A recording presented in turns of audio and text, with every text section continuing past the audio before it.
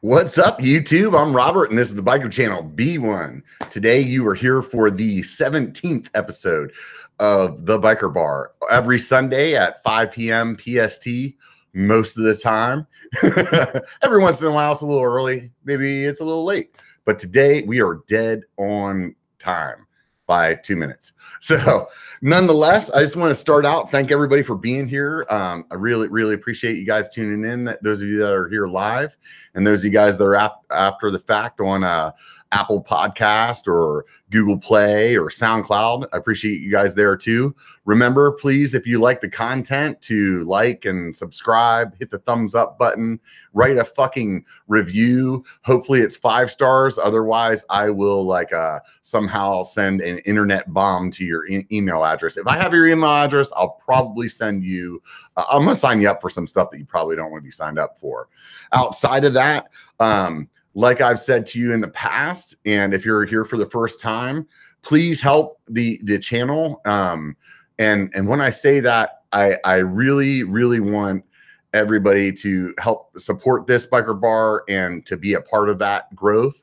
Um, the best way to do it is a watch the videos, b like and subscribe, that like makes the YouTube algorithm, which is kind of like this mysterious God, do things for me. The same thing goes with if, if you're if you're listening to on a podcast, go ahead and pay attention to those. Just recently, I went through all of my videos and took all of the uh, the ads out of them. So there's only the the like the beginning ad and the la- the, the ending ad. So I did that because I really wanted you guys to I want to get my support from you guys and not necessarily from from all this like ad revenue kind of stuff and i want to give you guys the best experience i can. So if you enjoy the content at the very least swing by uh, patreon which is at patreon.biker.com and uh, just sign sign up for that. I have one that's only a buck a month and in that that buck a month club i call it testing the water um, you can get access to coupons. And most of the uh, most of the the vendors that I, I've done some videos with or done done some stuff with we have some additional savings. So sometimes maybe i will put up a savings for like 10% on a regular video that goes out but those of you that are part of the Patreon, you can save a little bit more money. So, like, let's just say Project 321, I believe, has a 25% discount or $25 off of Otis that was on la- last week. Um, different ones like some some savings with Handup gloves and a few others out there as well. So definitely swing by Patreon if you can at patreon.biker.com. And outside of that, this is the commercial side of the of the of the live stream. So I'm um, I'm trying to keep from having other people's commercials here that you want to slip through. So one more thing, if you're if you're on the video, I'll explain this if you're not on the video. I have these mud guards that have my lovely face on them. It is nothing but makes me smile every time I see these. A little mud guard says biker on it. You can pick these up at shop.biker.com. There's not many of these left. So hurry up and get one now because when this one disappears, who knows if it'll ever come back. So outside of that, here we are, Sunday, 17th episode, and we have Paul the Punter, who is geographically confused. He's a, a, a, British guy that lives in Canada, does YouTube videos. Paul, tell us a little bit about your channel. Uh, thanks, Robert. First of all, for having me on. It's a great yeah. honor. I'm a big fan. I've watched, I think I've watched pretty much every one of these, bar a couple. So, uh, yeah, my channel, um, uh, it's, it's kind of all about documenting my progression, I guess. Uh, I've I live in a world, as you said, like in Squamish, where the standard of mountain biking is pretty high, and I'm I'm very low down the pecking order. But I always wimp out of stuff. So I found that if I started when I started filming myself and doing that stuff, I became more accountable for for not doing things. So now I, I kind of say like, okay, I need a video. I've got to go make a video. Oh, I've got to go and get better at my ma- go and get better at mountain biking. So I guess that's what it's all about. And it's not just me, it's people around me, like improving. I always like to have someone doing something new in a video. So uh, just to kind of, I don't know, make it a little bit different. Um, but yeah, that's that's what it's all about. You know what? When you started your channel, it and and this is my opinion. Please correct me when I'm wrong. Um, when you mm. started mm. your channel, you didn't start out that way. You started out. Um, you you you went the the, the sensational route. The let let's do something viral. What was that video? Uh, the Walmart. I guess the I did like a couple of videos before, but I would say that I started on an actual like regular schedule ish when I did the Walmart bike video. Yeah, but that was that was purely because so I, I used to work at Pinkbike. I've so, so wait a minute. I, I, need to translate your accent for those of you that aren't very familiar with it. What he's saying is wait, English. Yeah. In in English, he used a Walmart bike, and uh, and he and would you ride you something in in BC or Whistler? I rode the bike park. Yeah. yeah. I mean, so the the thinking was like I was I was just starting to um. Yeah, well, I just started. I no, maybe a bit before, but I I used to work at Pinkbike. Um, my role, my final role when I was I'd left was creative strategist, but that kind of mainly involved me um, doing all things video for for Pinkbike.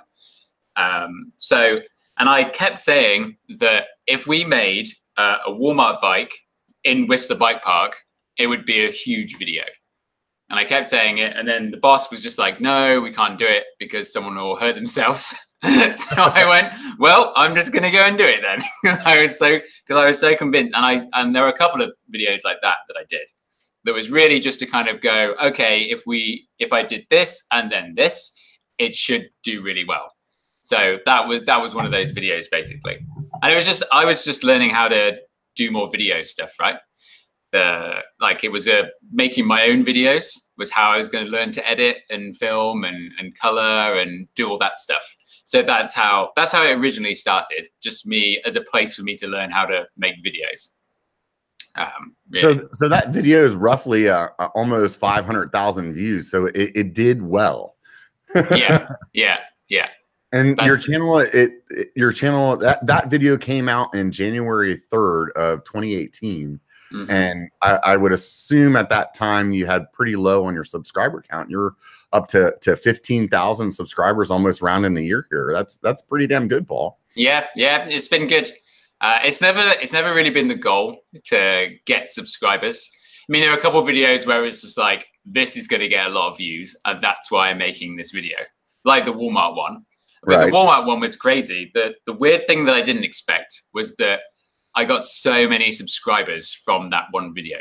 Mm-hmm. It was it was like I must have got like three thousand, three and a half thousands in like a couple weeks. Oh wow!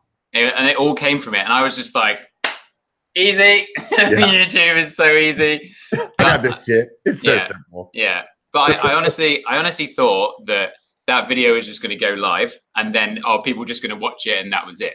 The the thing that I was surprised about was that people then subscribed. Mm-hmm. Like that was an action that I wasn't expecting.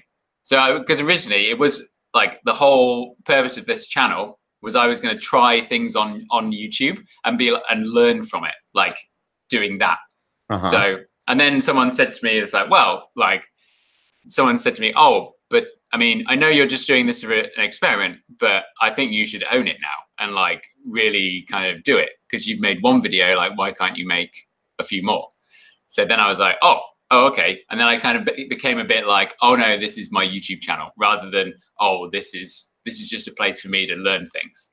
So so initially, when you did that first video, it was really just to kind of like like put the finger up to your boss who said you couldn't do it. And, and no. no, not quite like that. No, but it was a, it little bit like that though. It was it was more to kind of just show. It was more to show for sure that I could look at something and figure out what a video, good video would be for views before you went and made it. Like uh-huh. that's for sure. That is why I did it because I said, "Hey, I I can look at all of these things, all of these trends, and all of these searches and everything, and you kind of put together and figure out what would be a successful video." Mm-hmm. So, like the better the better example for that was my Whistler Green Trails video. Okay. Okay, that's on like two hundred and something thousand views. So, so basically, instead of going out there showing all the guys just doing the big shit, show people the average guy, like, hey, when you show up, this is the run you're probably going to do. Well, no. I know you can think it, but no. If so, a great way to figure out searchable content on YouTube is you go in the search bar and you just start typing some words and it, it auto completes for you, right? Right. But so when you typed in Whistler, like the the fifth search item down was Whistler Green Trails, and there were no there were no Whistler Green Trails videos. So right. Like, so you clicked oh. that and you saw you saw like Crabapple and all the big trails, and you were like, oh, wait a minute. Well, no, you, you click on like you search and you, you search for Whistler Green Trails. There's one guy doing Easy Does It, which is like a fire road basically. That's had 55,000 views and it's like a terrible video. Right. It's just trash. But clearly people want to watch it. So on op- opening, and I, I thought about you know doing it for Pinkbike, but I mean you know Pinkbike's trying to be more of a core mountain bike audience, right? So that it wouldn't really make sense. So I just on the opening day, I was going my first laps of Whistler this year were going around riding all the green trails, and I said I'm going to make a guide. It's going to be super simple. I could probably bang it together in like an afternoon. And Eric from BCPOV was there, and he was laughing at me as I was doing it. And I was like, buddy, you watch this. This is going to be watched more times than the Walmart bike video. And he just couldn't believe it. Anyway, yeah. like it got 70,000 views like super fast. And then like I heard people people in town w- would like hear my voice on someone's phone. And they're like, what? And you turn around and they've got their, their phone there and they're like, oh, they're watching their Green Trails video. Oh, because there's funny. there are so many people that come just to be a tourist and go around Whistler and try mountain biking for the first time. And there was nothing there to for them to kind of learn about it, which is what YouTube's for, right? Like yeah, yeah. learn things from it. Yeah, so, no, it, it's totally funny how those things happen, and and, yeah. and it's interesting to me what you just said there a second ago about how people go to places like that that aren't necessarily riders.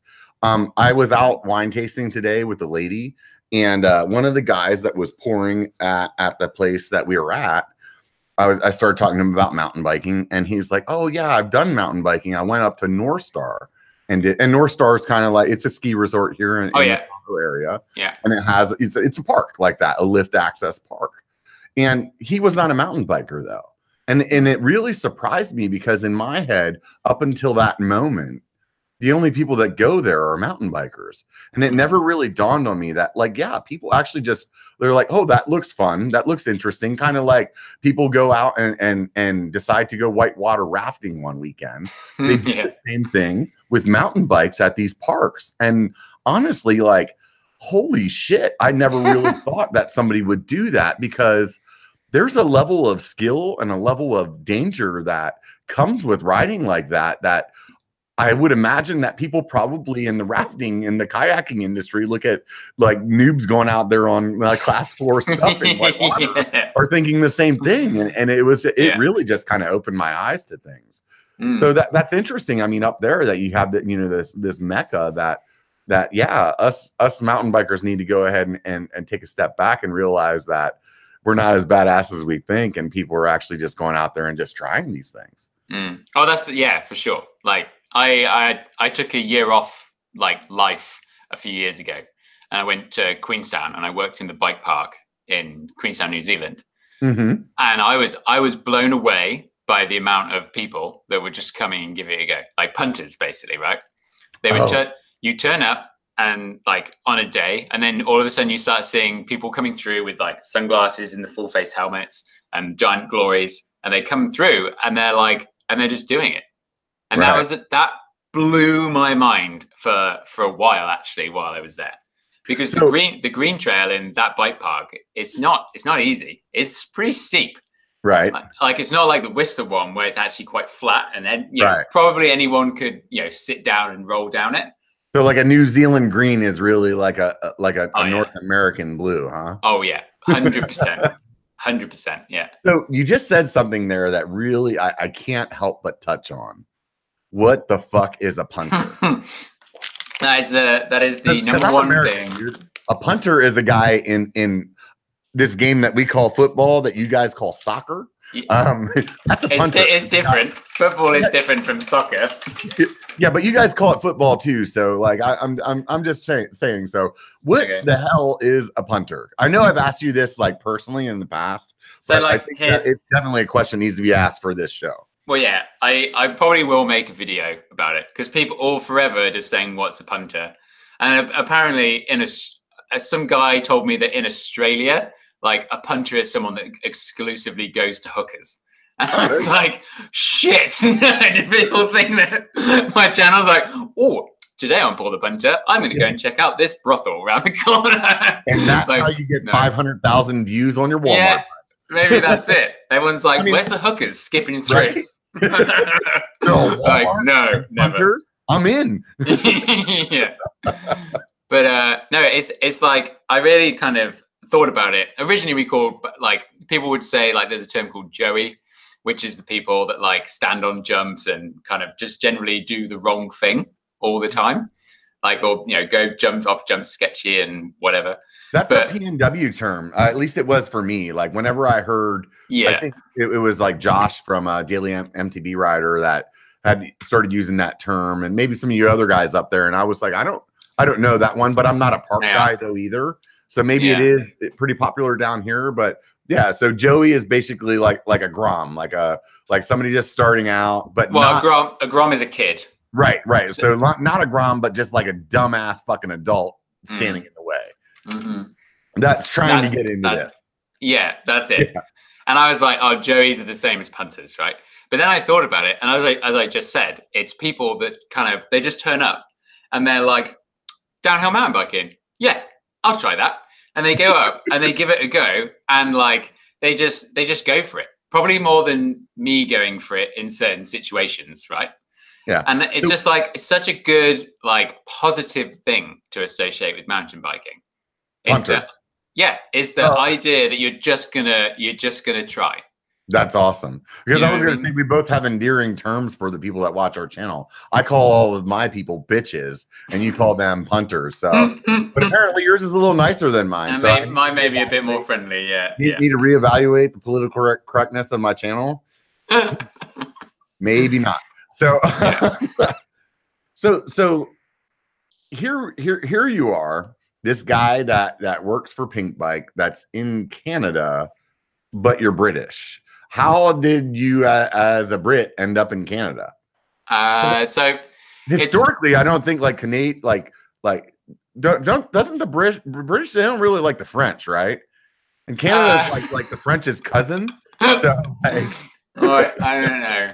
But funny enough, like I, I actually used to live in. I'm just, I keep moving back and forth. By the way, because I've got this heater behind me. I am in my garage, and it is freezing because it's in Canada. So by just kind of I'm going to turn it in an angle, and then we should be good. But yeah, like so, I, I, actually used to live in France for a bit as well. I lived in uh, Morzine, which is in the Alps, but I did, I I wasn't a fan of living there. But I think um, yeah, so I came I came here on that year off when I when I was in New Zealand, and then I I did like a summer in New Zealand, and then I could come to Canada and do another summer. So I had like a year and a half of no winter which was like pretty amazing. And then I, I came here and I used to work for Dirt Magazine. That I worked there for almost three years in the center of London. Um, so when I came here, I kind of like went, well, I need to figure out what I'm going to do for a job when I get back to the UK. So uh, I reached out to Carl Pinkbike and said, hey, like I'm going back to Europe. Uh, I'm pretty sure I heard that you were looking for a European advertising person to work from there. Um, do you want to do something? And then after a, after a bit of chatting, uh, I ended up doing that. So I start I started over here, and then I went back to to the UK, and I worked for Pinkbike from Europe. So I would work with all the European brands, basically. So, so let's take a step back. And um, you you grew up like through like grade school and everything in the UK. Oh yeah, yeah. I've only, I only moved to Canada in May 2016. Properly, uh-huh. that's when I left. Yeah. So in the UK, you guys you don't call it like high school. You guys call it like uh, something else. Oh yeah, so it's funny. Like there's there's a uh, there's a lot of Americanization in the UK. So right. when you like when I grew up, it was called secondary school. Uh huh. Now it's all called high school. Yeah, but back okay, so because I had a buddy that was from from Liverpool, and oh, yeah. uh, or actually he was from Great Yarmouth, but uh, Liverpool was, his, was his, so was far away. Yeah, I, know, I, just, I, just, remembered it as I said it. Liverpool was his, his, that was soccer team that he loved. Oh, um, okay. Yeah. But, but uh, Great Yarmouth is where he was from, and uh, I remembered him calling it secondary school. So, um, so that's after that. Like you guys, do you have school there that allow like like college? Is that like part of your like it's free like university or is it like you have to pay like like here in the states. Yeah, you have to pay. Like so, how it how it works? So we have years, like year seven, year eight, and I'm pretty sure it's like grade seven is the same as year seven. Uh huh. Like in terms of that, but how it works is that you go, um, you do high school or secondary school from like 11 to 16 years old, and the exams that you do at the end of that are called GCSEs. So that's Right. like your first exams. Then, if you want to count those, that's mandatory. Now, you can choose to leave school at 16, but if you want to carry on through education, the next thing you have to do is A levels, which are 16 to 18. So you do two years, that's year 12 and year 13. And then uh, that's when you go to university. So we don't Yeah. call it college. College, college is like a, um, uh, it's like another another type of education. So you might go to college to you could. I mean, you there are colleges you can do A levels at, but generally, if you go to a, a college, it's like you study mechanic, you know, to be a mechanic or more of a trade. like trade schools then. yeah, yeah, Yeah, yeah. because I was thinking that my but because I remember when my buddy came over here, I want to say he was like 15 or 16. I, maybe it was 16. And he had said, like, oh, I already graduated high school, but I came to the States and now I gotta go back to high school. Like, Yeah. because to him, he was like done or whatever, you know, maybe he was a der- derelict. He probably was my friend, so it's a good chance. he so, um, so, so I was just just trying to lay that all out. So, and I think that you like as you're going through high school back there, you're kind of like deciding at that point, do you want to go to trade school? Where like as a sophomore in high school here, we're not really picking a path yet. And I think over Yeah. there you are. And the reason that I'm getting to that is how did you get from going through that that education path that the UK has Mm. to working at a magazine as as like a dirt mag? I mean, obviously, were you just like in the right place the time or you wait, you wait for this pathway through my life, Robert. You're going to enjoy this. Okay, Oh, so. yeah, do it, man. So up until uh, all the way through school, I was I was like, I'm gonna be a composer, a music music composer. I was like, I was all I was all in. Like, and we had a not many people did music at the school I went to for um, for A levels. It was like there were three of us learning music by the end. So Mhm. oh no, four of us, four of us. Take it back.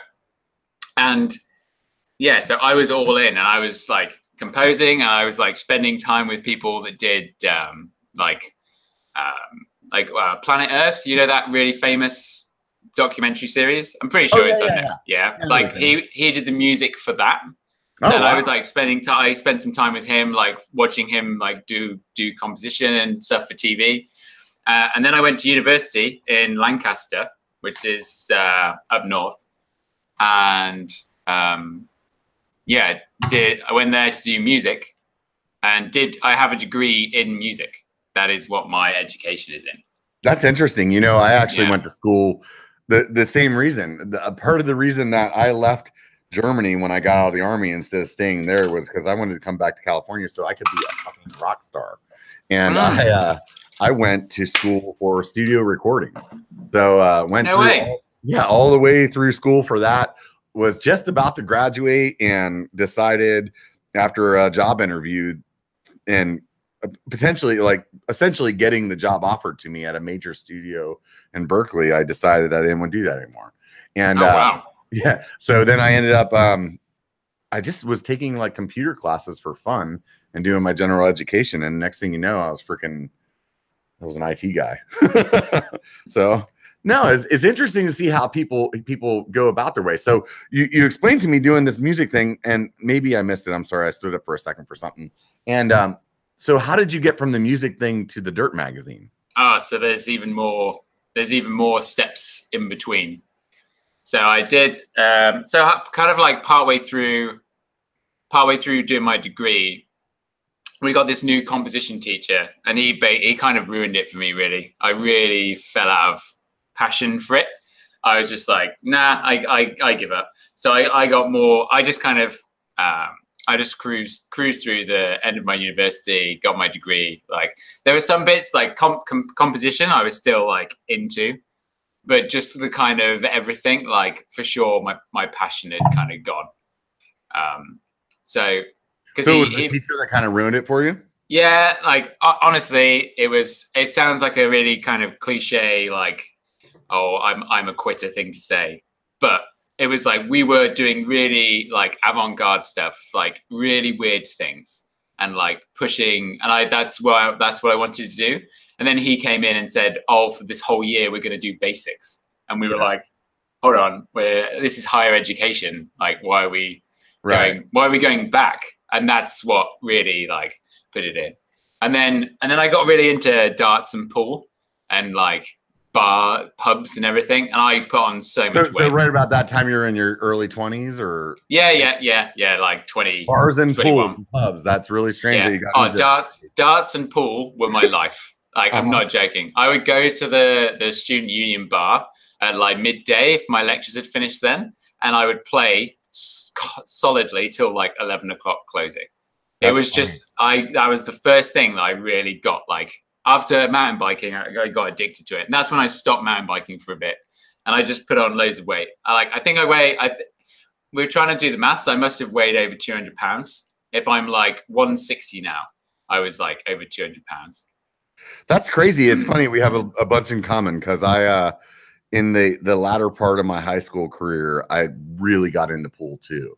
Oh I mean, yeah, and, and I, I was playing a lot, and it was actually oddly enough, it was a source of income for me because we would go to this pool hall and I would be there, you know, we would get there like in the early afternoon and and sometimes like I didn't have very strict parents or family values or whatever you want to call it. And we would be there until, you know, two o'clock in the morning. And uh, and what we we did though is we started paying like playing to pay or paying to play, right? yeah. So it'd be like, hey, it's 20 bucks a rack for a nine ball, or it'd be 50 bucks for this. And and that was really how I I made them instead of having a job like that, that I made a lot of money that way. oh nice. And, and the funny thing is, is that now I, I pool is one of those things that if you don't do it, it goes away quick Yeah, and and now I go to the pool hall and I know like all the shots and I know how to make them, but I can't do it because I don't do that anymore.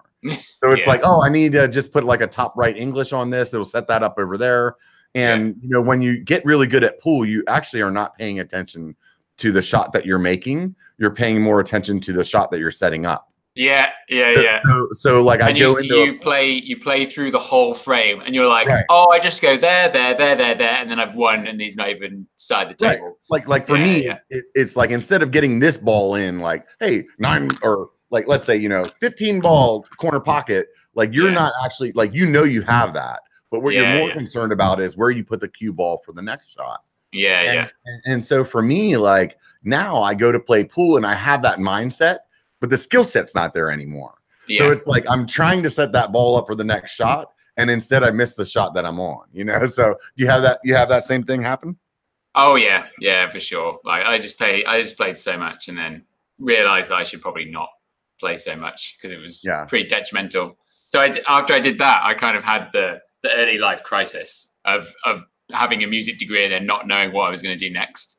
And so then music career to pool hall and then And then I actually started another undergrad degree in engineering, which I should have done first because I I loved that engineering degree so much. And I was I was on for like I uh apart from kind of a couple of exams at the end, I was on for the you know first like top top mark uh-huh because I, I just I just liked it and it was maths and it all made sense and it was yes or no. Do you know what I mean? Uh-huh But then uh, after that, like that's when I really got kind of like, oh, what am I doing? like, I always I'm gonna, there- it's yeah. funny you just said that about math and yes or no. I always say there's two kinds of people in this world. There's math people and English people. Like Yeah. people that are just good with numbers and then people that are just good with words. And um I could I could get a good grade in a math class, but but English was always that like I I could I could write a paper 10 minutes before class, like like wake up hungover, shit it out, and get an A. But like math, I had to be like in in the lab, doing the work, putting the time in. It just didn't come easy to me. So, Mm. so you're definitely one of the math people, but it sounds like you got the communication down. So how did you go from engineering now to this fucking Yeah. dirt magazine? so there's a, there's a couple more steps. Oh God, it, yeah. So the we thickens. yeah. So then I uh, and then I kind of went, well, what the hell am I doing? And I had like this call, um, and I went to this recruitment center for this uh, this recruitment agency that specialized in grad placing graduate sales people. Uh-huh. So you get your degree and then you go and get your first sales job. And then I kind of went, well, let's call them back up. So after a year, I'd said, and they were like, oh yeah, like we definitely want to have you on the book. And then like a week later, they called me up and said, oh, here's this really good job with a company car. Like, let's get you interviewed for it. And I couldn't believe it. I was like, oh, maybe I could do this. And then, right. Uh, and then after a couple of interviews, my first job was with GlaxoSmithKline as a pharmaceutical rep. So, so now uh, you're selling drugs, not drugs. So I'd go to. Oh no, um, that's pharmaceutical. I hate to tell you. No, you went from being a music student to to then selling drugs. Being a no, show, I was a, being a drug dealer. I can see the progression. Yeah. it was cons- it was consumer healthcare. So I would go to dentists and I would basically try to convince the dentist to recommend like uh, Sensodyne and Corsodyl and Aquafresh and all the stuff that GSK did and I loved, I fucking loved it. I was so interested in dental stuff. I was even thinking like maybe I could just be a dentist now. Like I could well, go to school. I mean, being a dentist in in in the UK is not a bad profession to be in. You guys may or may not be known for your your your fine dental like uh genealogy or whatever word I'm looking for. I, I I am so confused by this because like the it depends where you go, and it's like normally it was it's like yeah, caries or like tooth decay that it's called. It's like it's there's a lot of factors that will, you know, mean like there's there are high caries right. areas that yeah. generally like lower socioeconomic conditions. So that would be it. I mean, myself, I I've never actually had a filling, which is one of my last claims to fame. So far, no, there you go. So far, loads of gum recession, but no fillings. anyway, so seems like the next viral video on the punter channel. Yeah, yeah, like I got a tooth out. No way, you won't believe it. Yeah. Um, so I yeah, I did I did that for a bit, and then I kind of again like a couple years afterwards. I was getting really frustrated by how like nothing would happen. Do you know what I mean? Like you couldn't go anywhere. Like they, it was yeah. all promises, but then actually there were there were little things. And I was young and I was like, oh, I've got to keep going and keep going, like do better than all my friends. Like that's that's it. I've got to be like yeah. That. And then I kind of went like I wasn't I wasn't like super stoked on everything and life and and I kind of went, well, but I was really happy when I was riding bikes. So then I just went and bought BMX and I started going to the skate park and I started riding again. I was like, this is sick. And then after a while, I stopped doing work or finishing work earlier. And I was like, I'm just going to go and ride now because I had like company car. So I'd like, the moment it was emptied of tooth of like samples, it would BMX would go in and I'd go to the skate park. And I was like, this is rad. And then I went, well, like, I'm looking for a new job. Like, let's try and get back into the bike industry. And I got tried to get in touch with everyone. And like, you need to be like, you need to be in the bottom, like, so like working in a bike shop and then kind of feed into sales sales uh-huh. ways. And I was like, hold on, guys, like I've got a lot of pretty decent training here, like, you know. Uh, and then I just I was there was one more, I tried one more job, and it was to work uh, for Ride BMX, Ride UK, uh, and Dirt magazine. And then I, I went down and I wore a suit and I looked back and I was like, fuck, that was so dumb. Because like no one always everyone was just like this. Like if I turn up to an interview like this, it right. would like it would have it would have seemed normal, but it was weird right. that I came in the suit, and I learned that like a few months later. But uh, yeah, then I started working for Dirt, and I liked it, and it was really I felt at the beginning I was really kicking myself because I felt like I made, so essentially made you were just like over the dental thing and you just started trying to get into the bike industry. Yeah, I, I kind of went back a bit and I was like, well, this is I mean, working for this corporation is pretty corporate. Like, oh, surprise, surprise. Yeah. Right. so, uh, and then uh, I was like, oh, yeah, let's go and do something more out of it. So yeah, that's why I think you nailed it though. I mean, you were, you were saying. I think what you said there that really stood out to me is like that part of being that you know in your in your early 20s or whatever and you're really trying to for whatever reason like you're trying to prove to the people that you went to high school with that you yeah. and your family yeah. or whatever that you can be like bigger and better and I, I i did the same thing with my career you know like there was a part where i like in it it was like i want to have more users in the company that i'm working with and a bigger budget and i want to be spending more and and and there came a point in my life though where I realized that none of that fucking mattered. And, yeah, and, yeah, and that really, was pretty. That was pretty much it. Yeah, yeah I mean, I, st- I'm still like it. I, yeah. I'm, I'm I'm inherently competitive, and yeah, like and there's there's nothing you can get away from it. I think that doesn't go away, but I think what does happen as you get a little older is that you become a little bit more in tune with what your skill set actually is and how that going to work every day is actually like like it needs to be something that is actually like like makes you feel good more than just mm. like the paycheck. And I think oh, when yeah. you're young, that paycheck or that like um glamour of the job that you have means something and as you get older you realize that it doesn't mm. and i think you're, kind of, you're pre-conditioned right yeah sure like you're conditioned yeah. by every society it's like i mean the whole point of like going to university so you can get a good job right and then it's like right i've got to get a good job like that's the reason i'm here but then it, uh, you know as you say you get older you kind of like learn a few more things about life and then you realize oh that's that's not why i went to university like really but you you you would even if someone told you like then you'd never You'd oh, there's listen. no way you would listen to. No. I mean, no. I wouldn't even listen to myself from fucking five years ago. Yeah. You know, like like let alone listen to like like 20 year old Rob, like wouldn't listen, wouldn't give freaking this guy the time of day, dude. Like yeah. if, if I was to tell 20 year old Rob that I wasn't going to be working in the music industry, he'd tell me to go fucking catch a rabbit. You know, I mean? he'd be like, yeah, yeah, right, dude. There's no fucking way I'm not working in the music industry, you know, and and uh, yeah to to like tell you know 15 year old me you're going to be like doing a youtube uh, you're going to be doing videos about bikes on the internet mm. for practically free but you're going to just do it because you love it? Like nice, i'd yeah. be like yeah right dude. You know like yeah yeah. so so um through through all that process where where did mountain bikes come come into the mix? Because here you are at this bike park doing bmx stuff that's not a mountain bike uh, well, I mean, I start like I grew up in Bath, and that's where uh, MBUK was was based. Not any, not anymore. It's all changed.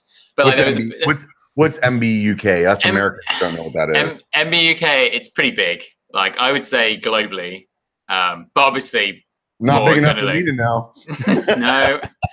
So it's uh, it, it was like you know before the internet and everything, it was the thing it was it was so big, and because it was based in Bath, like there was a lot of there was a lot of mountain biking happening. Uh-huh. And I, you know, I started riding BMX when I was younger, and then I, and then my friend, it's classic. Friend gets mountain bike, I got mountain bike, um, but we weren't really doing mountain biking. We were just doing jumps. Like that was it. We were right. like going somewhere. We were riding for an hour and a half to go and ride three jumps or whatever. Yeah, like that. That's what we were doing. Uh, that's kind of how my BMX career was. You know, it was like me and my buddies would ride all the way across town, and it would take us like two hours to get over there just so we could jump over the street. You know, and you know, it was essentially like a big tabletop, or you know what I mean, or yeah, some, yeah, some, some big jump that we were gonna do, and then it'd be like, okay, now we're gonna ride another hour to the other side of town, and we're gonna do this like this staircase jump, or you know, like, and then we're gonna ride over here, we're gonna do that. So I mean, I think that's part of I mean, I would hope that children nowadays are still doing the same thing. There's a part of me that that that doesn't. Well, probably it. probably not because there's so much mountain biking available. Like it's yeah. easy to go and do. Like in the UK, there's like so many trail centers and like yeah. even places like Surrey, which is where I used to ride. Like there's loads of trails everywhere. They're easy to find, and it's kind of like socially accepted. Like you're not going to try and put two mounds of dirt in there, and then all of a sudden they're going to get knocked down by someone. Yeah, and when I was that age, you know, like all of my friends did did BMX, so like that's what we did for the most part. And the guys that I mountain biked with when I was in in middle school and and into high school, I mean, they were all in their like 30s and 40s. So it was like I, I rode BMX and did all that shit like midweek or whatever with with my with my my high school or my middle school buddies but you know, come come the weekends or whatever it was that I run out and I rode with these old guys to ride mountain bikes, and that type of riding that we did, like I'd tell my friends about, oh yeah, we rode 20 miles and we went up this hill and it was fun, and they would be like, "What the fuck is wrong with you?" like, yeah. Thought we were gonna go smoke pot and like freaking do kickouts on trash cans, man. You know? yeah, yeah. So, yeah. so you so you work for this dirt magazine for a while, and then you end up at Pink Pinkbike. Well, yeah, I took I I really got kind of again. It's like I I kind of got bored and I kind of didn't really see what was there was there was a lot of like the, the factory media that owned it. Like Mhm. it, it's like to get to a point where I, I kind of didn't really have much trust in what was going on. Like the people behind the magazine and the other people were great, but there was some really like it was just weird and like the we corporate got- side of it, the part of the business side of the magazine, didn't Yeah. fit the culture side that you thought you Yeah. were you were like like signing up for. Yeah, I mean, it's when I first started, and people were like, "Oh, this is so corporate," and I'm like, "Are you, are you fucking kidding?" like, I've just Yeah. come from the third largest pharmaceutical company in the world. Like, Right. this isn't corporate. But then, like after a while, I, I kind of got it, and and I yeah, it was just like the classic thing. Like you you would hit a target, and then you'd achieve something, and then they immediately try and screw you out of the bonus. They're like, "Well, how did you get it?" It's like, "Well, it's right here. Like, here's my sales. Here's the target. I've done it." And they're like, "Oh, but you know," and it would always be that. And I just, I just really hated it. And then I was at this enduro race in Wales, and I had an asthma attack after the first stage, uh, and then. Um, didn't tell my mum I was having an asthma attack, but drove drove back because Is I that was- asthma that you said? Yeah, yeah, yeah, Okay. yeah. I'm, I I'm sorry. had- I'm, so I I'm was in- translating for us English folk or us American same folk. thing. yeah. So I uh let me just turn it down a bit. Turn it up. So I went um I was in this race, it was like near Wales. So like imagine I was here, uh my my mum's house is in the middle, and then I was living in London over here. So what I, the plan was I was going to do this race, then stay have dinner at my mum's and then go home. So while I was still having this asthma attack, and I say like I wasn't like, but I was like pretty tight. Uh, I was there and I was just like, "Mum, I'm just not, I'm just not happy. Like this is so like boring. Like I don't really see what I'm going to do, and I don't know where I'm going to go." And then she just said, "You should go traveling." And it was so weird because my mum had always been like, when I was younger, she was pretty anti me mountain biking Right. she was she was like you need to do like i used to get up at like six in the morning and do schoolwork and that meant that maybe by 12 i could i was allowed to go out on my mountain bike Right.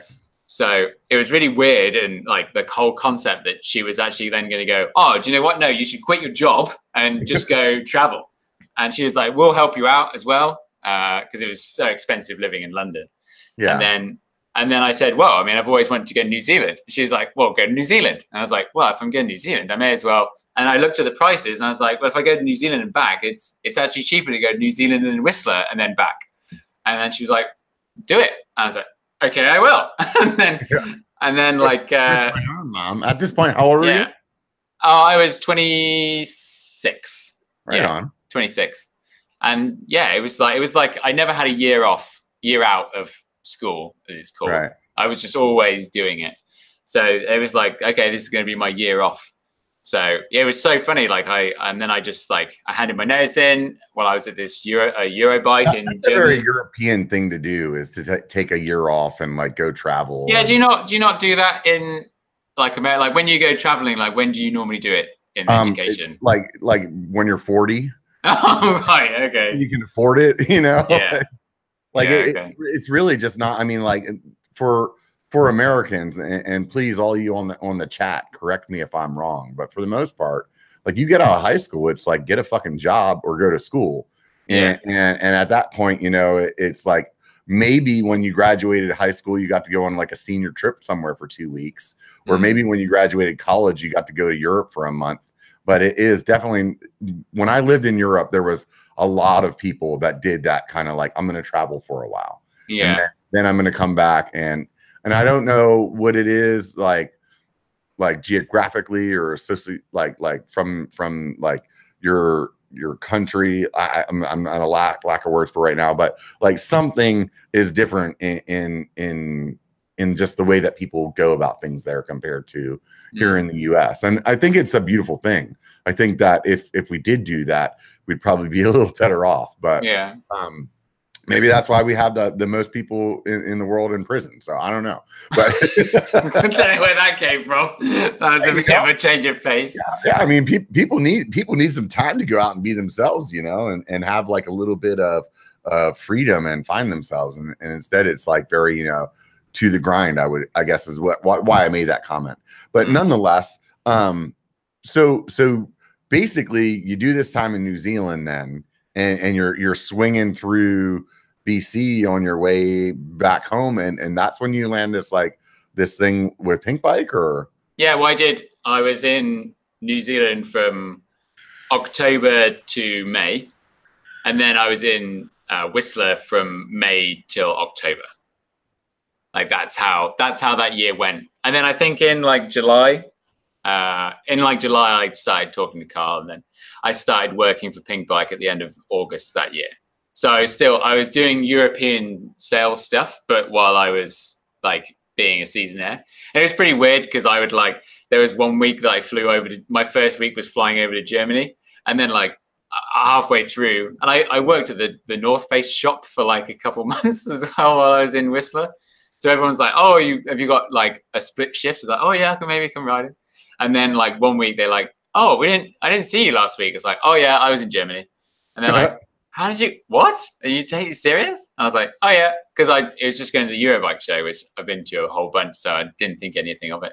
What but year I, was this about when, when you're 20, 2014 was when I started. Yeah. So yeah. so at that point, Pinkbike was still pretty small, or I, no, I, it's massive. Yeah, I just got into the the YouTube game in the last two years. So yeah, well, Pink Pinkbike has been massive since I was like a, a young teenager. Like I remember being 14 years old, and the, how it started is that you it was the play it was the place that you could upload pictures of your bike. Like that was a mm-hmm. huge it was a huge thing in like when I was a kid. You upload pictures of your bike, and then you would post it in the the forum, which is called Southern Downhill and that's how you did it. And then you started using Pinkbike, and then all of a sudden they added like a news feed and like things that you could go and look at. And right. I remember that. Um, but yeah, Pink Pinkbike when I first started, it was it was when I started working. It's is the largest of uh-huh. all, all bike media, like easily. Oh, okay. So, so yeah, it's uh, it's like it was just the play. Like if you want to sell your bike, you'd go to Pinkbike. If you want to see the latest video, you would go to Pinkbike. It was just like default for everyone. Uh huh. For sure. Yeah. So you really got to do a lot of travel with them. Oh yeah, yeah, yeah. Like I, I'd say just since mountain biking, I've done a lot of travel. Like even when I was working at Dirt Magazine, like I've been riding in Fort William. I went, I did road trips like through um, through Europe, like riding in Austria, Germany, France, obviously. And then I did like the Mega Avalanche one year in, in uh, Alpe d'Huez and just just a whole bunch of places, like even around the UK. Like, and I would never have done it if I wasn't mountain biking. Like, I just you just wouldn't have it do it. And I actually talked to this dude Ollie Wilkins once about like, you know, what do people do when they go on holiday? Like, we just couldn't figure it out. Like, you go on holiday, you go on a mountain bike trip. Like, you take your mountain biking, you go mountain biking. Like the whole principle of just going somewhere and like being somewhere, we just found it so like I st- for me now, like if I went on a holiday, I'd be like, when when are we mountain biking? Like this is why we come on holiday, right? It's like sightseeing and stuff. Like I just yeah. don't. I can't. I, have ridden bikes yeah. like since the '90s, and it was never really something that I I put in put thought into about where I go and whether or not I could do that. And now I can relate with what you're saying. Um, yeah. When when um, Moonlight got married last year, and it was like, oh, we're going to Hawaii. Where the hell am I going to ride while we're there? Yeah. you know and it was like and, and and that was the first time that i like went somewhere far away and part of the goal of going there was riding bikes yeah. and it was such a like a, a pivotal moment in my life for me because it just was really like this this is what living life is about like you know like not only going somewhere and seeing the culture but like going and doing something you just love and for anybody out there, like I will say, hands down, one of one of the the the top five reasons that I love my channel is the fact that it got me to start going places and riding. Yeah. You know, because before that it was like, yeah, I'll just ride my local shit, you know, because I like yeah. riding bikes and these are the trails I like riding. But it wasn't like, no, there's like a whole world of places out there to ride. You should go yeah. do it. Yeah. And I can't stress to people enough that really like anybody that's watched my channel, like honestly, I'm not I'm not like making like the YouTube truckload of money has not dropped off at my house yet, you know? And uh and but what it has done though is shown me like here I have over a hundred videos on my channel right now, and they're all these different trails that I could just drive to within a couple of hours that I never would have went to if it wasn't for for riding bikes, you know. And mm-hmm. I think that that um, people should take advantage of that. You know, like it's not that far for you to drive a couple hours to go somewhere and try something new. Like yeah. people back on the East Coast, if you live in New York City, drive down to Ashland and fucking ride it. You know what yeah. I mean? If you live in Florida, drive over to fucking Texas and yeah. and and and see what they got over there. Or here in, in California or BC, like like it's really not that far to go and just experience something that's so different. And not it doesn't have to be like like going on like as you would say holiday or vacation where it's something super expensive and it's like $3000 for there you to go. It's like no put a tent and a sleeping bag and a bike in your car or your truck and drive for 12 hours and now you can be in sedona you know like yeah. Yeah. It is it does like there's two there's one one thing especially that always blows my mind. So like there's i got a story about i did the I did the Sea Otter Enduro uh, a couple of years ago, and I was stood there and and I just like was talking to people, and like I just remember this chat, and it was all about bike bike products, like con- constantly, like oh I've got these carbon wheels and blah blah blah, and these are the best, and I was like, where where have you guys been riding? Like where where else have you gone? And they're like, oh I just ride my local trails, and it's like, right, well, and there was the guy lived somewhere in the Rockies, I think. Mm-hmm. It was like central North America, maybe Idaho, I guess. Mm-hmm. And I was like, "Oh, have you been to BC? Like, it's only seven hours away. Like, that's that's nothing." Right. And he was like, "Oh no, no, could could never do that." And I was like, "What? What, what do you mean you could never do that?" Like, and I and I kind of I kind of like at the point, I was like, tell me why. Like, tell me the re- tell me the reason. Like, uh, uh, but that was it. It's like, and this is the thing you hear like a lot of the time is the, oh, I could never do that. I mean, fair enough. Like, I'm in a pretty, uh, you know, selfish situation where I have zero dependence. I like, I have have my own house. Like, I don't have a lot of uh, life commitments, and it's yeah. all man biking. So I fully appreciate. It. It's very easy to me to say this but I know a whole ton of people that have all those commitments and still are able to go and do this stuff. So I don't. There's certain times where I'm like, mm, I'm not sure how much of this is like real. I mean, a lot of the time it's just like the fear. Sometimes, sometimes people just put these barriers upon themselves. Yeah. And, yeah. and and they don't actually try. And I think that's what I was getting at, even with you know starting my channel. Like I had the same excuse. Oh, I couldn't do that. I yeah. I mean I, I, I couldn't drive down to LA just to ride a trail and then turn around and drive home. Yeah, but, but you abs- you absolutely can, and it just yeah. blows my mind. And people like the it is a little bit heartbreaking. So one of the things, um, I mean, it's not so much now in the YouTube world. If you do a video about a trip or tourism, people are still interested. But right. like we we always knew, like we could go we could go to a location like in Switzerland. We were at Lenzerheide and we had to do a photo shoot in the bike park, and it was about the bike park. And I was just like, we're going to spend all day and maybe some more and like editing this and putting it together. And it's going to get a tenth of the views as if we walked over to Sam Blenkinsop and did a bike check about his bike and just went snap, snap, snap, snap, snap. And like, okay, job done. And it, it really like, and I, I don't really think it'll ever change because bikes are very easy to kind of learn about and understand. Like, you know, you can understand about a Santa Cruz bike or a, a Trek bike or a, a Canyon or whatever, because you can learn read the specs it's very available but uh, like talk about location yeah it takes a lot of effort like as you said like driving down to la just for one trail and it right. just like i i really sometimes i wonder like why you know if you get if you get like the opportunity to go somewhere or like oh like you know, like even even Whistler, like this is super easy for me to say this, but back when I back when I was working in London, like the thought of going to Whistler was ridiculous. Like I was right. like, there's no there's no way I could ever go there. And I mean, then it was the other side of the planet for God's sakes. Yeah, that's true. but then like as after that, like, you know, that chat with my mum and that that afternoon, like pretty much changed it did change my entire life. But like that moment, I was just, and then when I started to go to New Zealand, and then I'd go around New Zealand a bit, and I'd do this stuff, and then I was in Whistler, and like yeah, and then I came back here, and then I was like, I think I I figured out uh, I was going to see a load of brands in Switzerland, and then I was like, well, hold on, like if I'm in, I'm there, I could finish meeting with Verbier, and then I could just spend the weekend in Verbier and like go around there and just like see what it's about. So I so I did it. Yeah. Like there's a lot. There's, I do feel that there's a lot of that. Like even like Moab last year when I went, I just went by myself. I was, I tried to find someone to go down with, and there was no one available. There was no one free.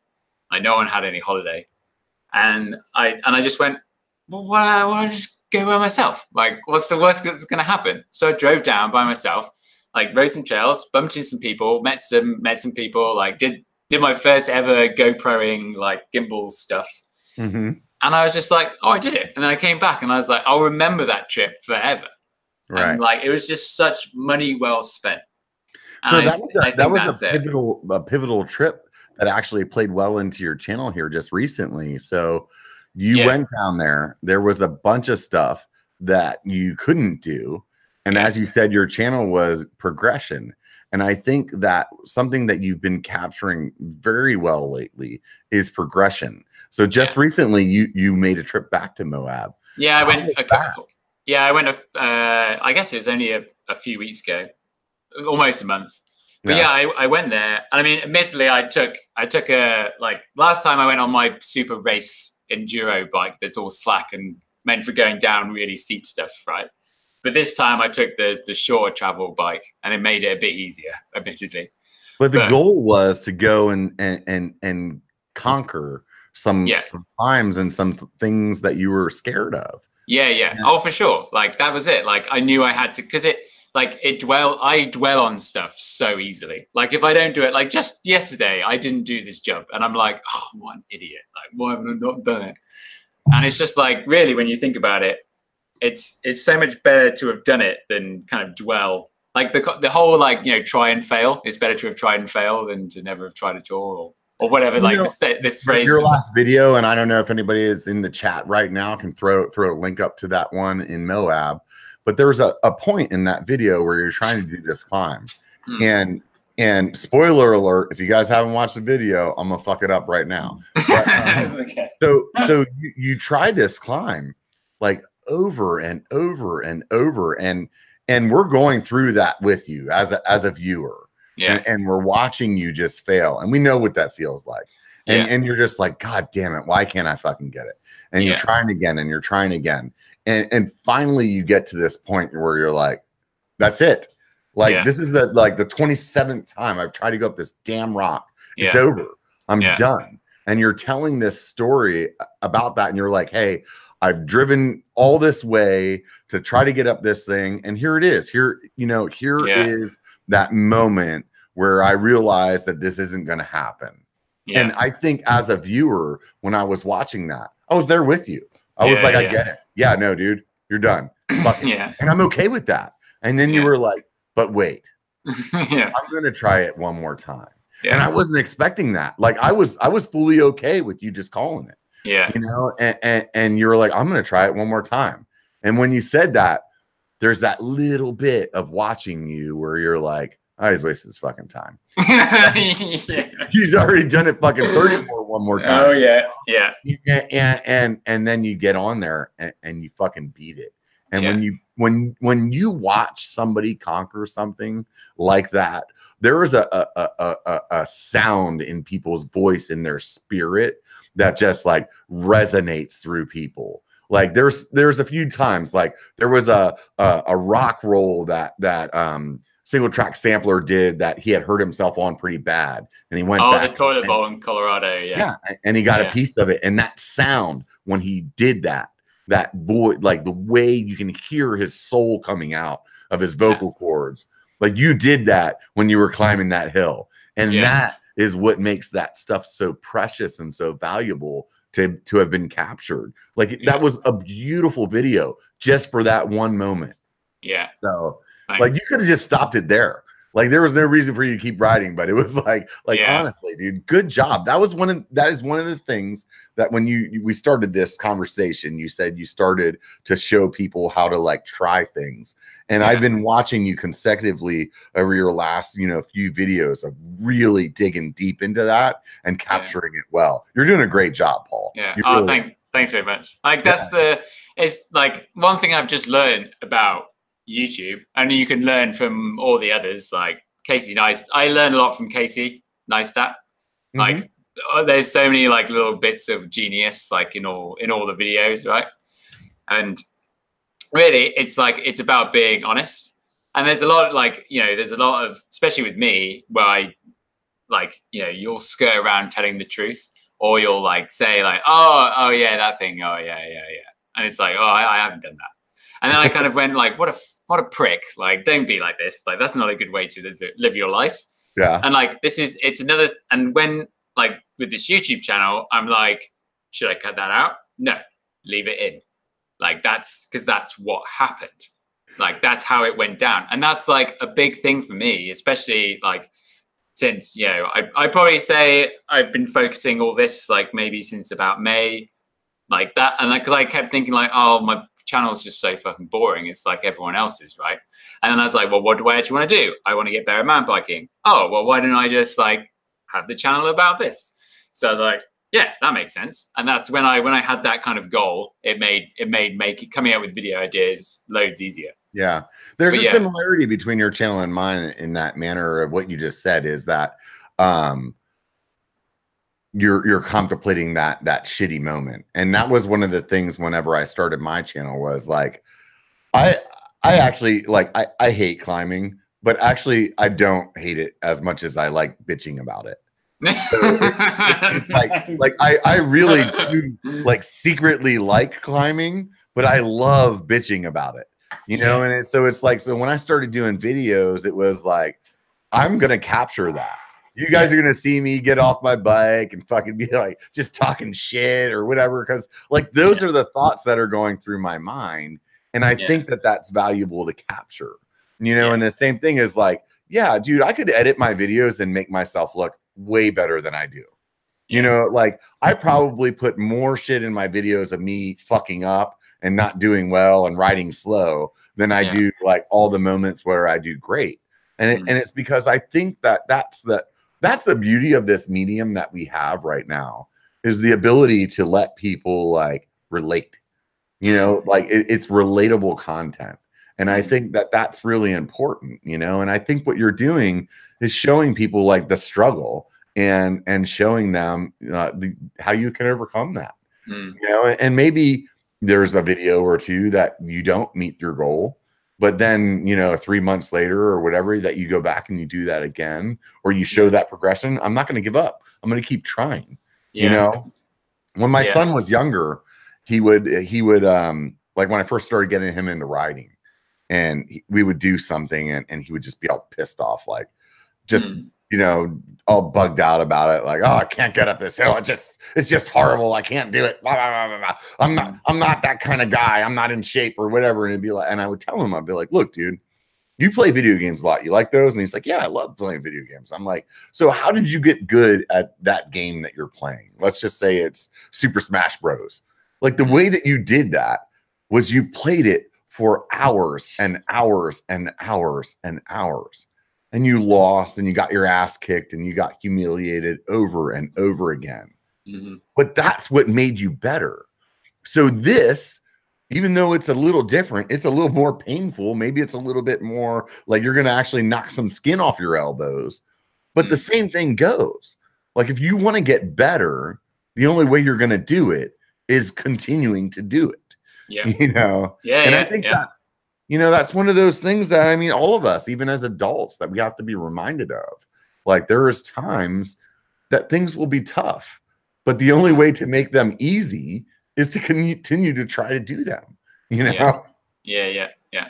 I think the big thing is like there's a lot of people that hide when they fail. And Yeah. I think that's that's one thing I've learned about this channel is actually like, you know, my content, I guess, like really I make the videos and I put in all those failures is so that I become accountable. that's why. Uh-huh. I say like so if you don't talk about your failures, you're not being accountable, basically.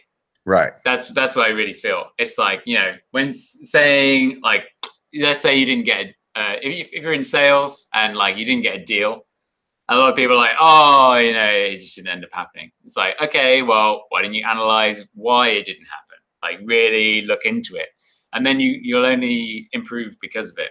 But there's a, I think I do feel that sometimes not a lot of people embrace failure, and it's a pride thing, hundred percent. Like pride oh, is yeah. pride is the biggest downfall of the, of the human yeah. race. I'm sorry. I, I started. I, I have a tendency of talking over people. I think, I think what I what I wanted to say, and I think you just said the same thing, is like I think pride is one of the biggest things that holds us back. It holds us back more than fear. Yeah. You know? Yeah. And that's that's something that I really like. I am so full of pride.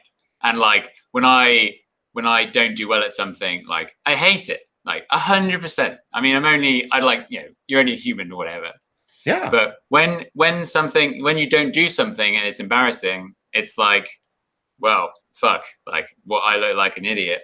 But really, like, you know, the, the whole reason that fights happen, why countries go to war, like all of this stuff. There's actually a really good podcast with um, Anna Faris does it. It's called um, Unqualified. And it's kind of a lot of it is rubbish, but there's this amazing one with uh, Terry Crews. You know, the he's like a comedian now, he's in Brooklyn Nine Nine. Okay. And he used to be an American football player. He's like that massive dude. I think he was big, in the big, old big black guy.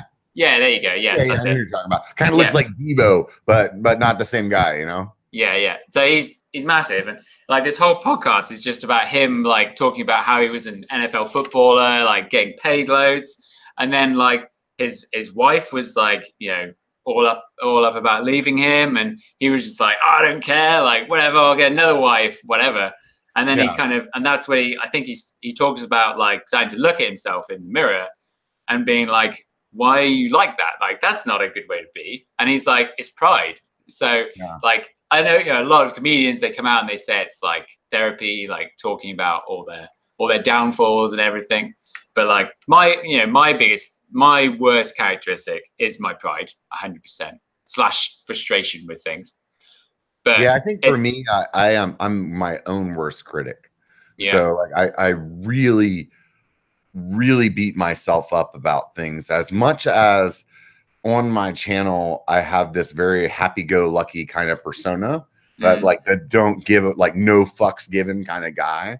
Yeah. Um but that normally goes hand in hand with someone that does give a fuck. Yeah. Like, yeah, that's, and that's, that's that's what's funny. You know, it's like, yeah. you know, always like it's like in a relationship the thing that people like like your significant other loves about you the most is mm-hmm. usually the thing that they hate about you the most and it and it's like like uh oh he's really outgoing and then I love that that he goes out and he talks to all these people, but then you're with them for a long time and they're like, I wish he would stop talking to these you know, like so, yeah. and, it, and, it's yeah. the same thing in, in, your own personality where where it's like that for me, like, yeah, a lot of my time. I'm a no fucks given guy, but I am yeah. also, I can't tell you just in this like YouTube community, how many people that I've had like a conversation with you, like I am right now today, that, you know, a couple a day from now, I end up texting you and going like, oh, that one joke that I made, like I, um, I, I've been like really like beating myself up. I hope that I'm not like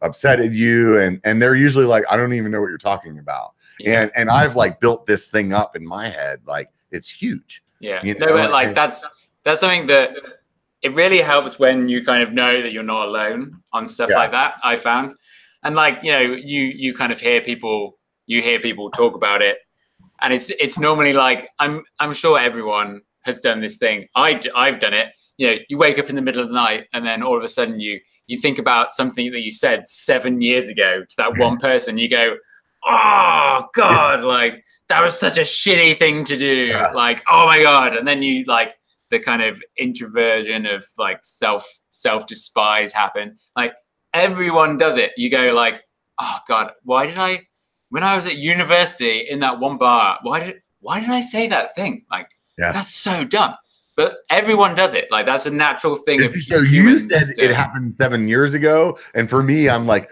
yesterday. I oh yeah, yeah. I mean, I say I, I think of things I said like you know the other day or whatever.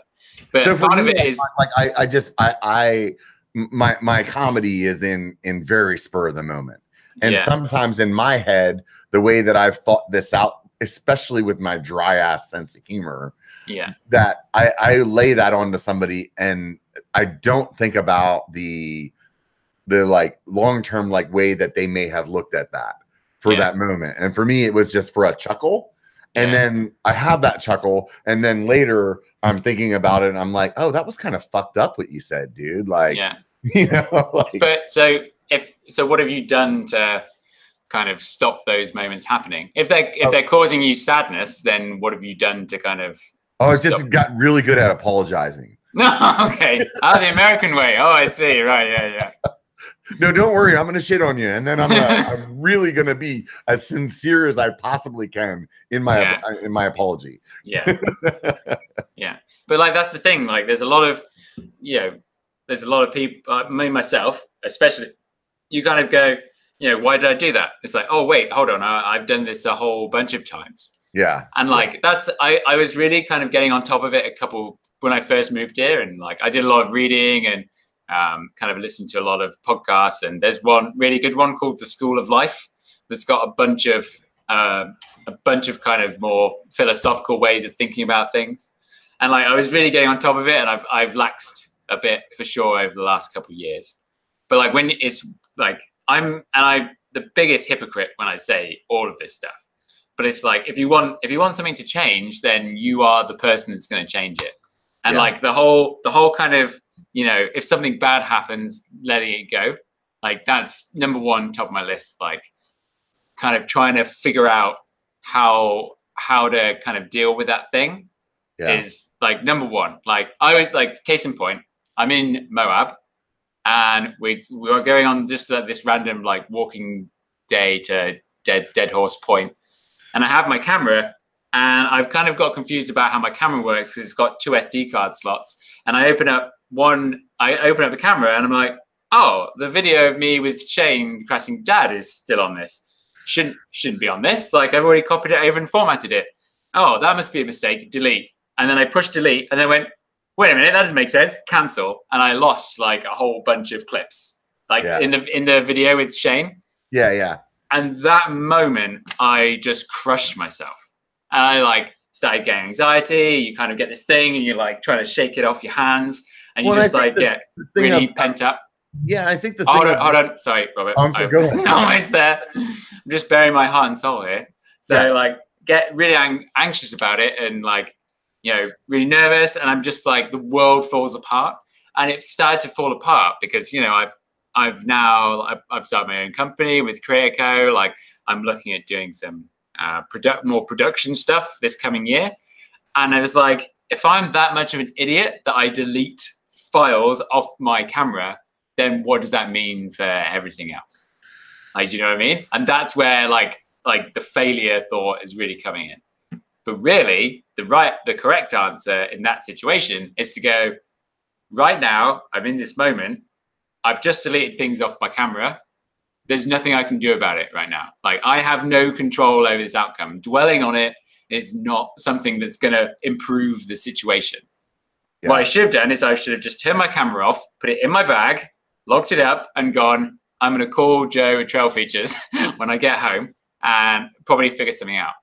Bad. Yeah. And the funny thing was, and possibly the life lesson here, is that by me then fiddling with my camera, I made it worse. Right. Like I started to picture and like, what's going on? And actually, if I deleted it, stopped it, and gone, oh shit, I've messed up and put it in my camera bag, I would have been able to get all those files back it's funny that you like like I said, I'm my own worst enemy. And, and and in some cases, like I said earlier, I dwell a lot. But mm-hmm. that's one of those also things that um that is is like one of those love or hate things about like my personality. Like if you were say like ask my lady, is that I let things go like super easy. And, and okay. that that is one of those things though that that has done well for me though, is because then I I I, I remember teaching my kids that. Like right now, that just happened. There's Mm. nothing you can do about it. Yeah. Just let it go. You Yeah. know, and, and that's one of those things where sometimes people are like, dude, are you not going to get angry about it? And it's like, well, no, I can't because it's like, yeah. I- it, it's up to you how you spend your time. Mm, You know, Yeah. and I don't want to spend my time being pissed off. yeah. So it's easier just to blow a lot of it off. But oh yeah. but it is the personal interaction stuff that I dwell on more is where I feel like I affected somebody's like like personality like like I may have hurt their feelings like Okay. that stuff I I dwell on where it's something like that well if I deleted my card I would have been like ah well fuck it it's over you know Yeah. like I can't do shit about it now so I'm just going to have Yeah. to go out and keep having a good time yeah. but um it's funny funny funny how things go like that you know Yeah. But So- yeah, that's that's yeah for sure. So It's earlier big- you big were thing. talking about Casey Neistat, and um, I I also like watching other other YouTube channels that have nothing to do with mountain biking. And lately, my biggest love is this show called Hot Ones. Have you ever watched it? Oh yeah, yeah, yeah. So so it's interviews that people do, or this guy does with Mhm. mostly famous people, and they eat hot wings, and the hot hot wings start. It's like six or eight of them on on a tray, and they Yeah. start from from the the low grade stuff, and they get to these ridiculously hot ones. And then while they're doing that, they're doing an interview.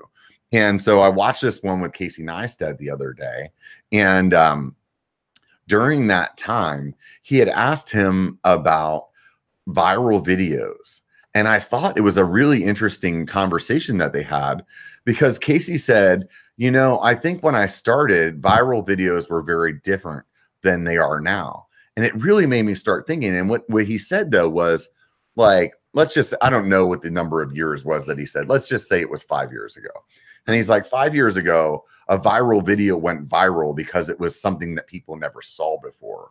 And now it's such a highly engineered thing. And that's like how you started your channel. You know, it's like an engineered viral video to really kick something off. Mm. And so do you feel like like creating something like that is taking away from like life experience or it's just showing like showing it better? Mm, I think if you like if you if you got to figure out what your goal is first, right? If your if your goal is to get a lot of views on video, then that's how you do it. You you figure out the way to do it.